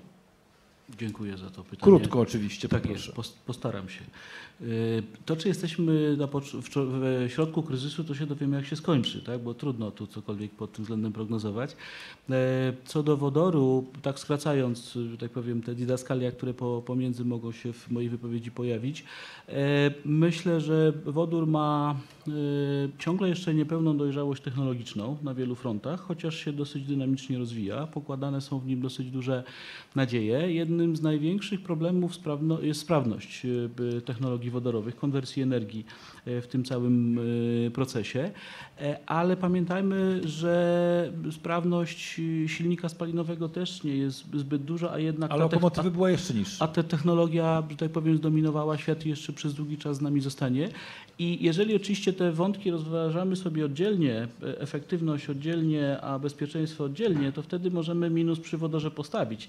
Ale proszę zwrócić uwagę, że w niektórych obszarach funkcjonowania i momentach naszego egzystowania bezpieczeństwo wydaje się być czymś najważniejszym, za co jesteśmy nieco wyższą cenę w tym całym procesie e, zapłacić, więc nie przywiązywałbym do technicznych sprawności tak dużego, tak dużej wagi i patrzył też na wodór w sposób systemowy, tak? bo to, co pan prezes y, Woźniak przywołał, te nieefektywności systemów dystrybucyjnych, one punktowo, sieciowo mogą być gdzieś rozwiązywane przez lokalne magazynowanie energii. Rzeczywiście technologie litowo-jonowe są dzisiaj w pełni skomercjalizowane nie aż tak bardzo dostępne, bo ciągle jeszcze e, drogie, ale wodór może aspirować, czy aspiruje do roli e, e, lokalnego magazynu energii, niezależnie tych, tych, tych, od, od tych małych, niskich sprawności, o których powiedzieliśmy. Dziękuję. Bardzo dziękuję. Pan dyrektor Maciej Maciejewski, Najwyższa Izba Kontroli. Bardzo proszę. Dziękuję bardzo za głos. Ja bym się chciał odnieść, bo tutaj e, e, poczułem się wywołany w imieniu, w imieniu Najwyższej Izby Kontroli do głosu. Pani doktor wspomniała o systemach ciepłowniczych, a pan prezes przed chwileczką e, o sieciach dystrybucyjnych. To ja może chciałbym to, co mogę w tej chwili powiedzieć, jeśli chodzi o systemy ciepłownicze, to w tej chwili kończymy kontrolę w tym zakresie i piszemy raport. Także no z wiadomych względów nie mogę niestety podać żadnych, e, żadnych tutaj informacji, natomiast e, wkrótce możecie się Państwo spodziewać naszego stanowiska w tej sprawie. Natomiast jeśli chodzi o sieci dystrybucyjne, to w tej chwili trwa kontrola. Duża koordynowana kontrola właśnie sieci dystrybucyjnych, także no tutaj również nie mogę niestety podzielić się żadnymi szczegółami ze względu na, taj, na tajemnicę kontrolerską, natomiast y, no, mam nadzieję, że wyjdzie to naprzeciw y, oczekiwaniom państwa i, i, i, i wszystkich, y, jeśli chodzi o nasze prace. E, Mieliśmy jeszcze, wiem z tego, co było napisane w e, jakby w scenariuszu panelu, rozmawiać o Ostrołęce. To może już bardzo krótko, ponieważ widzę, że czas się kończy. Myślę, że e, sprawę y, naszych czynności kontrolnych, które zakończyły się podsumowaniem e, strat w wyniku tej e, nietrafionej, delikatnie mówiąc, inwestycji w ten blok węglowy i strat wielkości mi- miliarda 300, ponad miliarda 300 milionów złotych. To są straty finansowe, wymierne. Natomiast e, druga sprawa w kontekście naszej dyskusji bezpieczeństwa energetycznego, no to jest olbrzymia strata czasu. E, Wydaje się, że w tym okresie, gdyby ta decyzja, wydaje mi się, że jednak mocno motywowana politycznie, o czym też tu była mowa, e, mimo że my oficjalnie w naszych raportach tego tak nie ujęliśmy, ale jeżeli już kontrola wcześniejsza budowy mocy wytwórczych, jeszcze wcześniejsza niż ta obecna, o której mówimy, Ostrołęki, sprzed y, dwóch lat, w 2018 roku, kiedy podejmowano de facto już wówczas decyzję o, o uruchomieniu tego projektu, wykazywała, że y, bardzo, no, nazwijmy to, mocno elastycznie traktowano spinanie się tej inwestycji pod względem rentowności. Uzależniano to również od wyniku aukcji mocy, zakładając, że nawet jak się nie uda tej mocy dostarczyć, to wrzuci się w koszty e, kary z tytułu niedostarczenia tej mocy, po to tylko, żeby się, że tak powiem, całe, całe wskaźniki spięły i żeby można było podjąć decyzję o, o rozpoczęciu tej budowy. Pod prąd e, niezapewnienia finansowania i tego, że wówczas wszystkie instytucje finansowe e, odwracały się od finansowania e, wszelkich inwestycji opartych o paliwa kopalne, pod prąd rosnącym cenom e, emisji dwutlenku węgla. No, skończyło się, jak wiemy, tak jak się skończyło, to jeśli chodzi o, o budowę mocy wytwórczych. W, w, y, Natomiast oczywiście no, nie możemy się wypowiedzieć, jak, jak będzie z tym ewentualnym blokiem gazowym, który ma powstać. E, Na pewno gdyby taki wów, tą decyzję podjęto wówczas, e, jest duże prawdopodobieństwo, że dzisiaj by już działał. Gdyby ten czas nie został stracony, to właśnie w kontekście tego, że możemy się ratować w kryzysie działaniami dorywczymi, o których już mówiłem, a są pewne działania, które można długofalowo podjąć, wpisać w, przyjąć jakąś strategię, o czym również tutaj panowie ministrowie mówili i później programy, które je będą realizować, a nie dorywczo w jakby odpowiedzi na zapotrzebowanie polityczne reagować. To tyle z mojej strony. Dziękuję uprzejmie. Bardzo dziękuję. Mamy pytania z sali, bardzo proszę. O, chętnych tutaj. Las rąk, bardzo proszę. I prosimy się przedstawić. Panie ministrze, bardzo prosimy. Marek Sawicki, Polskie Stronnictwo Ludowe. Ja jakby części zgadzając się tu z panami ministrami, panem y, wicepremierem, chcę powiedzieć tak, drodzy państwo, era węgla kamiennego w Polsce i na świecie nie skończy się dlatego, że węgla zabraknie, tylko dlatego, że zmieniają się technologie pozyskiwania energii i ciepła. I to musimy sobie wszyscy uświadomić. I oczywiście musimy eksploatować to, co w tej chwili jest nam konieczne do zabezpieczenia bieżących potrzeb, ale przyszłość jest w innych źródłach energii, w tym w energetyce odnawialnej.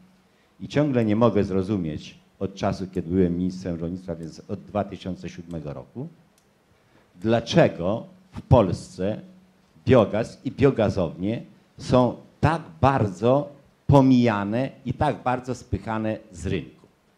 Bo jeśli mówimy o ogniwach litowo-jonowych i magazynach litowo-jonowych, to najtańszym magazynem energii jest balon biogazowy. Biogazownie już dzisiaj kilka zaledwie, a mogło być ich kilka tysięcy, mają zgodę na produkcję energii w systemie szczytowym. A więc wtedy, kiedy w systemie brakuje tej energii. I teraz chcę powiedzieć tak. Biogazownia to nie tylko biometan, bo przede wszystkim najpierw powinien być to gaz komunalny, zużywany bez oczyszczania na cele grzewcze, ale to może być biometan, a przy biometanie mamy dwutlenek węgla, mamy jeszcze dodatkowo wodór, ta technologia też jest już opatentowana w Polsce przez polskich producentów i czas najwyższy sobie jasno powiedzieć, panie premierze, to nie jest 6-8 miliardów oczysz- oczyszczonego biometanu. To jest co najmniej kilkanaście miliardów. Dzisiaj w Polsce co roku, co roku w powietrze, pan mówił o e, metanie uciekającym z kopalni, w powietrze z produktów ubocznych i odpadowych z rolnictwa co roku ucieka co najmniej 10 miliardów metrów sześciennych biogazu. Jeśli dołożymy do tego biogaz komunalny, to są kolejne ilości, które uciekają w powietrze. I dziś już kilka miast przygotowuje inwestycje na swoje biogazownie produkujące czy pracujące w systemie szczytowym, gdzie wszystkie produkty biodegradowalne można przerobić na ciepło, można przerobić na energię i nawet te dzisiaj źle sortowane śmieci, bo dzisiaj odpadki kuchenne, kości, to wszystko jest wrzucane do tak zwanych śmieci zmieszanych i stanowi problem utylizacyjny. Jeśli wrzucimy to do biomasy biodegradowalnej, przepracowanej czy przerobionej w biogazownię, będzie to energia. I drobna uwaga. Owszem, jeszcze 5-10 lat temu mieliśmy sytuację, że dla biogazowni trzeba było s- e, odpowiedniego substratu, bo nie na wszystkim pojechała. Dzisiaj Chińczycy, Duńczycy mają już nowoczesne technologie, a od strony projektowej, od strony naukowej, już także wdrożeniowej, Polska jest pierwszym państwem na świecie. Wystarczy tylko otwarte światło.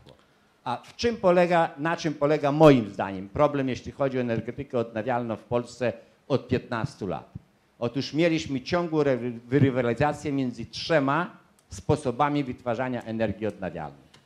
Wiatr, słońce i biogaz ciągle rywalizowały o ten cienki drucik, do którego mogły się podłączyć z przesyłem.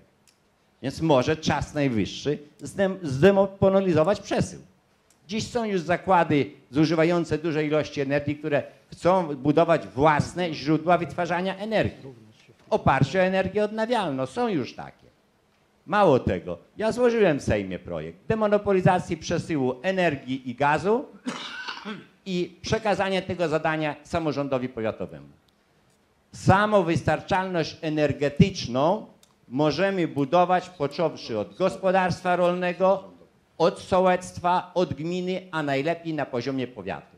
Kilka wiatraków, kilka biogazowni i do tego ta fotowoltaika, która nie będzie się wyłączała, jeśli będziemy mieli ten magazyn w postaci biogazowni.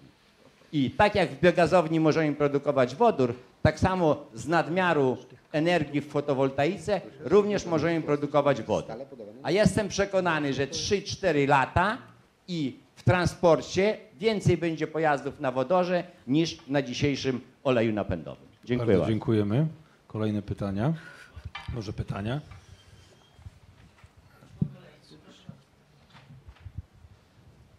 Dziękuję. Słucham. Niech no nie. Tak, słuchaj. Przedstawię się. Ryszard jestem profesorem tytularnym. Całe życie zawodowe zajmuję się energetyką. Panie prezesie, Ale nic nie gorącą- słychać. Panie prezesie, mam gorącą prośbę. Zostałem zaproszony dzisiaj na, na tę dyskusję bezpieczeństwo energetyczne. No niestety zostali zaproszeni sami politycy. Nie słyszałem tutaj żadnego słowa na temat, co zrobić, by zagwarantować bezpieczeństwo energetyczne Polski. Wręcz odwrotnie. Usłyszałem, co zrobić, żeby to bezpieczeństwo zniszczyć całkowicie. Padło wiele głosów polityków, bo to są sami politycy, z którymi się generalnie kompletnie nie zgadzam. Panie prezesie, bardzo proszę tę debatę zorganizować, ale dla ludzi nauki, energetyków, dla profesorów, którzy są absolutnie innego zdania niż politycy. Politycy nie wiedzą, o czym mówią. Tutaj pani zabiera głos, która nie ma zielonego pojęcia o energetyce. Mówi o jakichś abstrakcyjnych pompach ciepła. Pani nawet nie wie, co to jest pompa ciepła, a mówi, żeby należy instalować. Jak najdalej od pompy. Nie ma droższego ciepła niż z pompy ciepła. Mówi się o odnawialnych źródłach energii. Należy powiedzieć jednoznacznie. Źródła odnawialne energii wymagają ogromnych dotacji. My od 2006 roku wypłaciliśmy z budżetu państwa 100 miliardów złotych w formie zielonych dotacji, zielonych certyfikatów. Za te pieniądze byśmy już postawili co najmniej 5 tysięcy megawatów w energetyce jądrowej. Dlatego jeszcze raz bardzo proszę o zorganizowanie takiej debaty, ale przez ludzi, którzy się na tym znają, a nie przez polityków którzy jednoznacznie dążą, żeby zniszczyć bezpieczeństwo. Tutaj słyszałem od, pre, od premiera Steinhoffa, natychmiast likwidować kopalnie. To natychmiast likwidujemy Polskę. Panie premierze, jeżeli będziemy, jeżeli chcemy mieć energię elektryczną, to musimy, co jest w stanie zagwarantować bezpieczeństwo energetyczne Polski? Własne paliwo. Własne paliwo, czyli węgiel i uran. Węgla mamy dużo, uranu mamy jeszcze więcej. Dlaczego się nie buduje energetyki jądrowej? No stoją na tym ogrom, ogromne przeszkody. Niemcy nam nie pozwalają budować. Niemcy nam nie pozwalają budować. Tutaj słyszę też od pana posła OZE, OZE i OZE. Należy powiedzieć jeszcze raz i to znaczy, to jest rak. Rak, który toczy energetykę. Koszt wytworzenia energii elektrycznej y, ko, kosz, kosztuje około z turbozespołów wiatrowych, jeżeli z paliw kopalnych, z węgla produkujemy energię elektryczną, to koszt wytworzenia jednej megawattogodziny to jest w tej chwili rząd 160 zł. Z foto, e, wiatrowych lądowych to jest koszt 650 zł. To jest 4 razy droższa energia. Dla, dla 200 na giełdzie. Ja, ja mówię w kopalni, prawda? Na przykład w elektrowni Opole, prawda? Pozespoły wiatrowe na morzu to nie jest 650 zł za godzinę. To jest 3000 zł. To jest 12 razy droższa energia. Offshore to jest największy rak, jaki może zostać w Polsce zbudowany. panie profesorze, czy jakieś pytanie pan ma tutaj, czy do, do, A do czy mam prośbę, gorącą prośbę, żeby zorganizować debatę przez ludzi nauki, którzy się na tym znają, a nie przez polityków. Nie, że przyjdzie jakaś pani i tutaj opowiada głupstwa, totalne głupstwa, która nie ma zielonego pojęcia o energetyce. Dziękujemy Ja nie jestem politykiem, panie profesorze, to prostuję. Dziękujemy. Przypomnę tylko, że na sa- tutaj wśród naszych speakerów mamy dwóch byłych polityków, byłych, byłego ministra gospodarki, byłego wicepremiera, a pan Grzegorz i pani Aleksandra to nie są politycy. Bardzo dziękujemy i prosimy o pytanie, jeśli można. No, panie prezesie, szanowni państwo, Jak nazwisko pana profesora? Mógłby się pan przedstawić? już się dobry, przedstawiam. Dariusz Wieczorek, członek komisji, Sejmowej Komisji Energetyki. I muszę panu powiedzieć, że y, jestem absolwentem Politechniki Szczecińskiej, y, Wydziału Elektrycznego, specjalność sieci elektroenergetyczne, 20 lat w Enei. W związku z czym nie wiem, jak pan będzie chciał to ocenić, czy jestem politykiem, czy jestem fachowcem. Y, To już pozostawiam y, y, do oceny. Natomiast ja dziękuję rzeczywiście za, za tą debatę, bo dobrze, że pan prezes w pewnym momencie powiedział jakby kluczową rzecz, o której ja też chciałem powiedzieć, dotyczącą chociażby inwestycji w sieci, ale zwracam uwagę na jedną kwestię. Po pierwsze, ja jestem ze Szczecina, czyli stoi przed państwem żywy okaz człowieka, który przeżył blackout. W związku z czym ja wiem, co to znaczy, jak nie ma prądu elektrycznego. Nie wiem, czy Państwo zdajecie sobie sprawę z tego, że wtedy nie ma ogrzewania gazowego, nie ma ciepłej wody, bo do wszystkiego trzeba po prostu tą iskierkę, trzeba ten prąd doprowadzić. Pamiętam jak na sztabach kryzysowych, bo y, tworzyłem ENE i tam pracowałem, też tłumaczyłem, że do uruchomienia bloków elektrowni też jest potrzebna energia. W związku z czym nie ma możliwości bez energii zrobić niczego. Więc y, kluczową sprawą każdego rządu jest dbałość rzeczywiście o bezpieczeństwo energetyczne. I myślę, że to, z czym mamy dzisiaj do czynienia, i tu muszę pana niestety zmartwić i to powiedzieć jako fachowiec, to, z czym mamy dzisiaj do czynienia, to nie jest koronawirus, to nie jest Putin. To są błędy polityki rządu z ostatnich siedmiu lat. To są błędy polityki prowadzonej przez y, y, firmy energetyczne. To są błędy polityki prowadzonej przez polskie sieci elektroenergetyczne. Ja powiem tylko, że te sieci jeszcze w roku 2015 czy 2016 wydawały 2 miliardy złotych, co i tak jest kwotą niewielką z punktu widzenia i bezpieczeństwa energetycznego Polski. Wydawały 2 miliardy złotych na inwestycje sieciowe. W roku 2019 czy 2020 wydawały 800 milionów. Czy my to rozumiemy? Bo to jest cały problem. I tutaj rząd ma wpływ na to, bo się absolutnie zgadzam, ta gospodarka wolnorynkowa, konkurencyjność, okej, ale dajmy dostępność z całym szacunkiem dla Pana oceny, czy, czy te panele są dobre, czy wiatraki, czy są złe, y, to dajmy możliwość dostępności tym podmiotom prywatnym do tej sieci. Chcę Państwu powiedzieć, ale oczywiście, że robią to na własny koszt. Żeby była jasność, ja zrobiłem panele elektryczne, założyłem na własny koszt. Pan mi w tym nie pomógł, nikt mi w tym nie pomógł. Zapłaciłem ze swoich środków. Nie dostałem dotacji, nie wziąłem żadnej dotacji. Natomiast zwracam uwagę na jedną rzecz. Y, Raport y, y, jednej z instytucji pokazuje jedną istotną sprawę i mówię to jako energetyk. Ostatnie parę lat to jest odmowa warunków przyłączenia dla mocy na poziomie 30 gigawatów. 30 gigawatów. Doskonale pan wie, że dzisiaj w Polsce jest zainstalowane 58 gigawatów mocy różnych źródeł. Odmówiono przyłączenia 30 gigawatów. O czym, o czym my tu mówimy? No i mówimy właśnie o tym, że przez to mamy dzisiaj ten problem i przez to dzisiaj dyskutujemy o tych problemach, bo gdyby inwestowano w sieci przesyłowe i dystrybucyjne, to pewnie nie byłoby takiego problemu. I zwracamy uwagę również w tym wszystkim na to, że oczywiście dzisiaj potrzeba gigantyczne środki finansowe, bo energetyka to przespała. Po prostu energetyka te ostatnie lata przespała, nie podejmując decyzji, bo proszę mi wytłumaczyć, jak mówimy o elektrowni atomowej, dobra, narzekano tam na ten rząd y, Platformy y, PSL-u, bo widzę tu Marka, zawsze się śmiejemy z tego, że nie wybudowali elektrowni atomowej. To co przez 7 lat zrobiono? Dzisiaj dostajemy ustawę, y, chyba dwa tygodnie temu na komisji dostajemy ustawę dotyczącą elektrowni atomowej.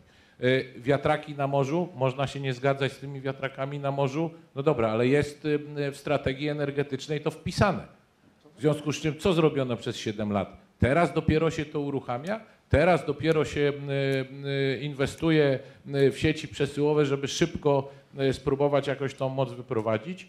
I ostatnia kwestia, no to jest absolutnie skandal, że dzisiaj firmy prywatne, podkreślam prywatne, otrzymują odmowy, gdzie koncerny energetyczne powołują się na to, że ze względu na y, offshore i ze względu na budowę y, offshore'u niestety odmawiają przyłączenia.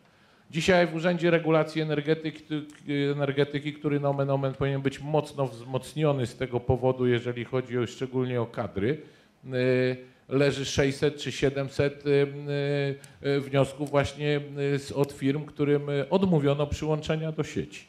I w tym kontekście, kończąc, moje pytanie do panów jest takie, bo rzeczywiście jest wielka dyskusja o tych świadectwach ETS-u. Mojej ocenie wielkim błędem znowu polityki rządowej, y, z całym szacunkiem do przedmówcy, jest to, że roztrwoniono te pieniądze. Ich nie wydano na transformację energetyczną. W związku z czym dzisiaj y, byłbym ciekawy panów zdania co do instrumentów y, dotyczących rozwoju infrastruktury i energetycznej, i gazowej, no bo nie da rady tego wszystkiego przenieść przy tym, co się w tej chwili dzieje, nie da się rady tego przenieść na klienta. To nie da rady tego w całości przenieść. W związku z czym dzisiaj musi być jakiś instrument i rola państwa y, w tym zakresie, żeby wspomóc te inwestycje infrastrukturalne. Bardzo dziękujemy. Może ja bym, po, pozbieralibyśmy pytania, tam widzę redaktor Reszka, widzę Michał Hetmański i byśmy dali, dali e, odpowiedzi naszym ekspertom. Bardzo proszę. Dzień dobry, witam serdecznie. Krzysztof Kochanowski, wiceprezes zarządu Polskiej Izby Magazynowania Energii e, i Elektromobilności. Tym tajemniczym dyrektorem, z którym e, na papierosku rozmawiał pan e, minister e, Woźniak, to byłem niestety ja, o tych właśnie sieciach. Mm, I to bardzo miło mi jest usłyszeć mojego przedmówcę, bo on rzeczywiście trawił sedno. My jesteśmy organizacją branżową, która rozwija nowe technologie energetyczne, naprawdę, które są dostępne komercyjnie. Mm, I właśnie z tymi problemami prywatnych firm, które chcą podłączyć się z czymkolwiek, to spotykamy się na co dzień. Proszę Państwa, to nie jest problem podłączenia tylko OZE. Dzisiaj odmowy ze spółek dystrybucyjnych idą na podłączenie magazynu energii, czyli urządzenia, które nie produkuje energii, tylko ją pobiera i oddaje, czyli jest jak najbardziej idealnym urządzeniem dla sieci, żeby, żeby tą sieć wspierać swoją energią i jej, stabilizować jej pracę. Więc problem jest szerszy, proszę Państwa. My mamy sytuację taką. Proszę zwrócić uwagę, że 30 lat temu sektor telekomunikacyjny zrobił gigantyczną pracę i znalazł się w tym miejscu, gdzie jesteśmy teraz. Dzisiaj, jak ja idę do operatora sieci komórkowej z prośbą o to, żeby zwiększyć dostępność w paśmie internetowym, tak. Prawda? A dlaczego jak ja idę do y, y, spółki dystrybucyjnej i chcę uzyskać przyłącze na swoje urządzenie, które zainwestowałem, to mi mówi, że za 5 lat. To tak jakbym poszedł do sklepu spożywczego, prawda, i zapytał, że chce herbatę. Nie, proszę Państwa, dostanie Pan za 5 lat. To jest błędy katastrofalne, które się zadziały w energetyce, wynikają przede wszystkim z tego, że my stoimy w strukturze systemu elektroenergetycznego jeszcze z lat 70. i 80. Tak wygląda budowa tego systemu. Kiedyś, w jeszcze na początku tam 2000 roków nastąpiła konsolidacja e, elektroenergetyki, bo było takie założenie, że to odbiorca energii ma być klientem energetyki, a nie producentem prądu. Ma być klientem.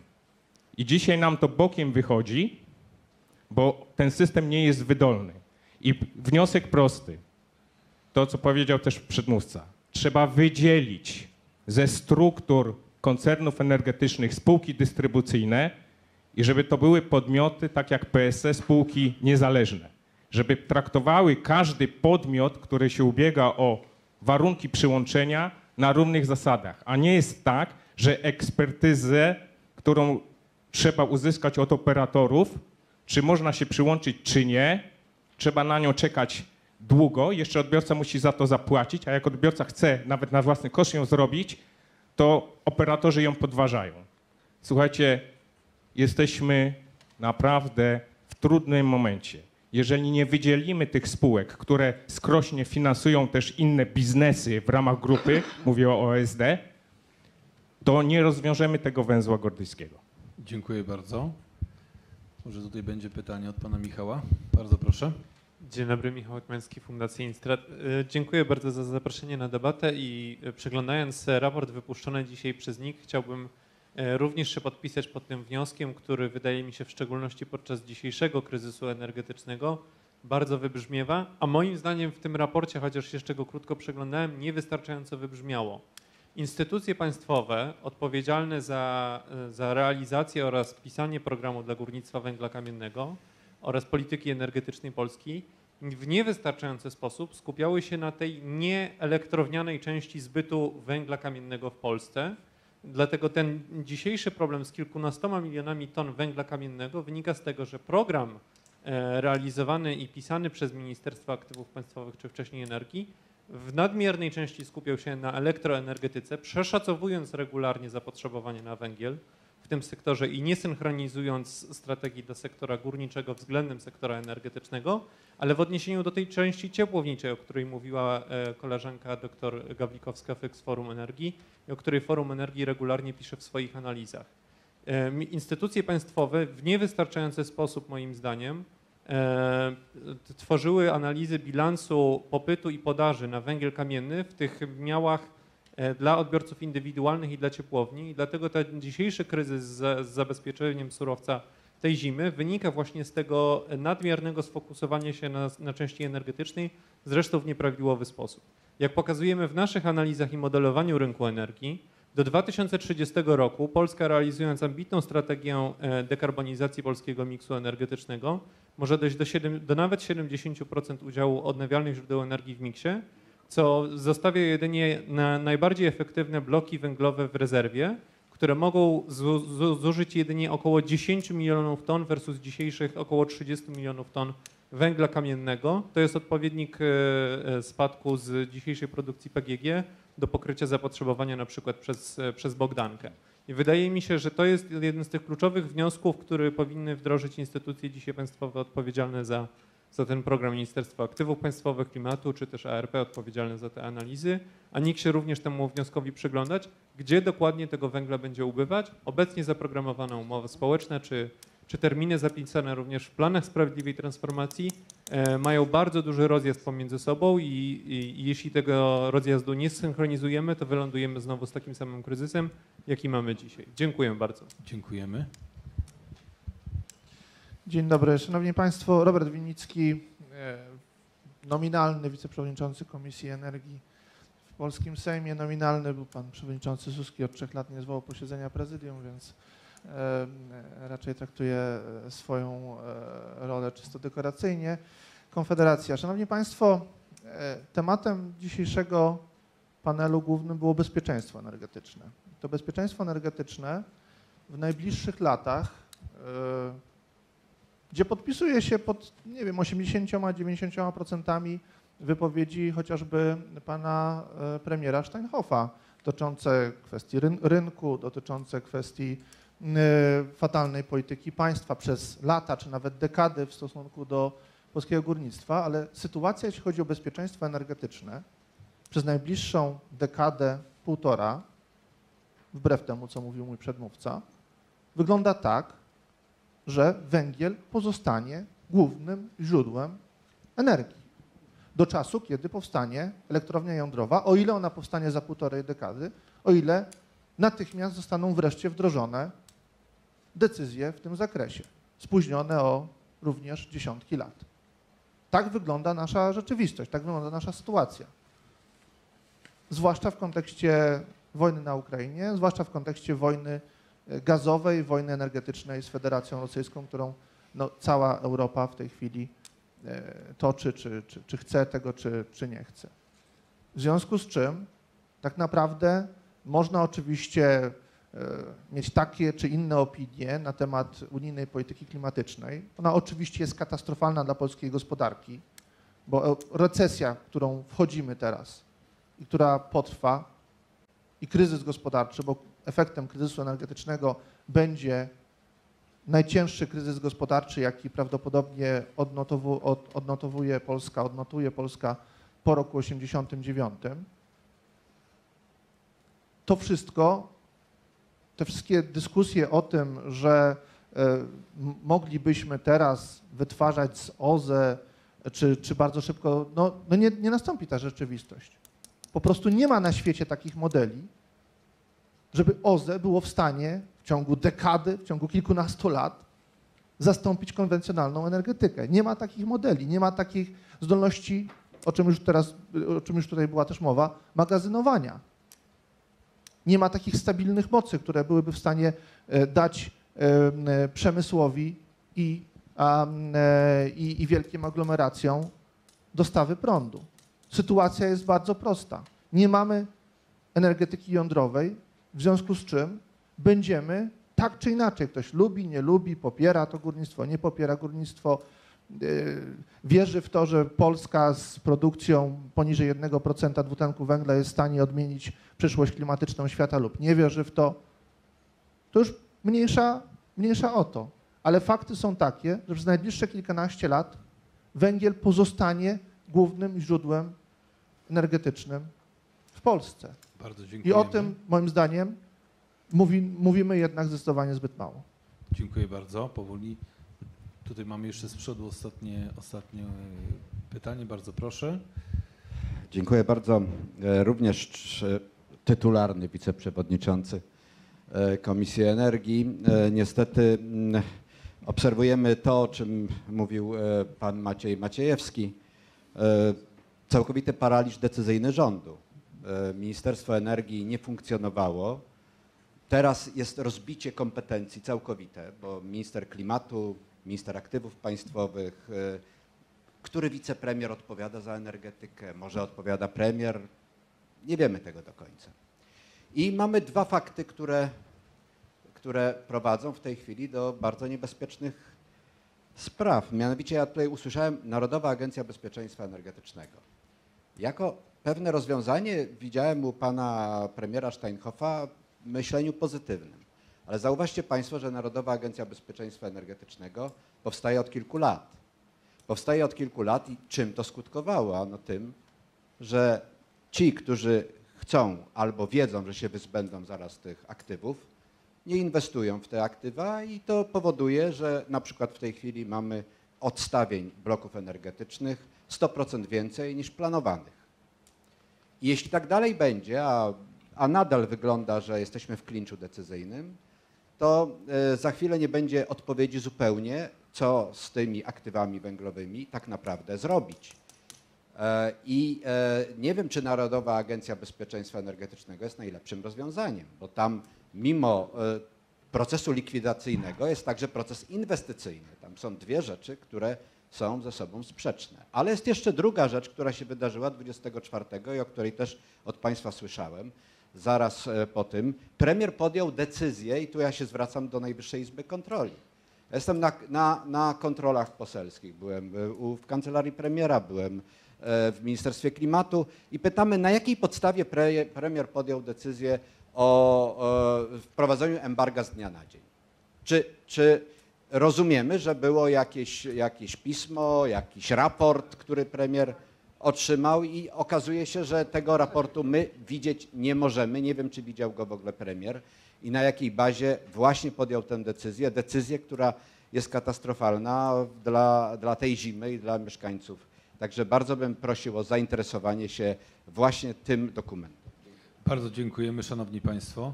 Teraz podsumowanie naszego dzisiejszego spotkania. Bardzo proszę. Szanowni Państwo, bardzo serdecznie dziękuję Państwu za udział. Serdecznie dziękuję naszym wybitnym panelistom. Dziękuję Panu redaktorowi za prowadzenie dzisiejszej debaty i Państwu jeszcze raz dziękuję za żywiołowy udział w dyskusji. Sam przebieg wskazuje, że takich debat powinno się odbywać znacznie więcej i mam nadzieję, że e, tak też będzie. Natomiast e, poproszę teraz jeszcze Pana Prezesa o takie krótkie podsumowanie.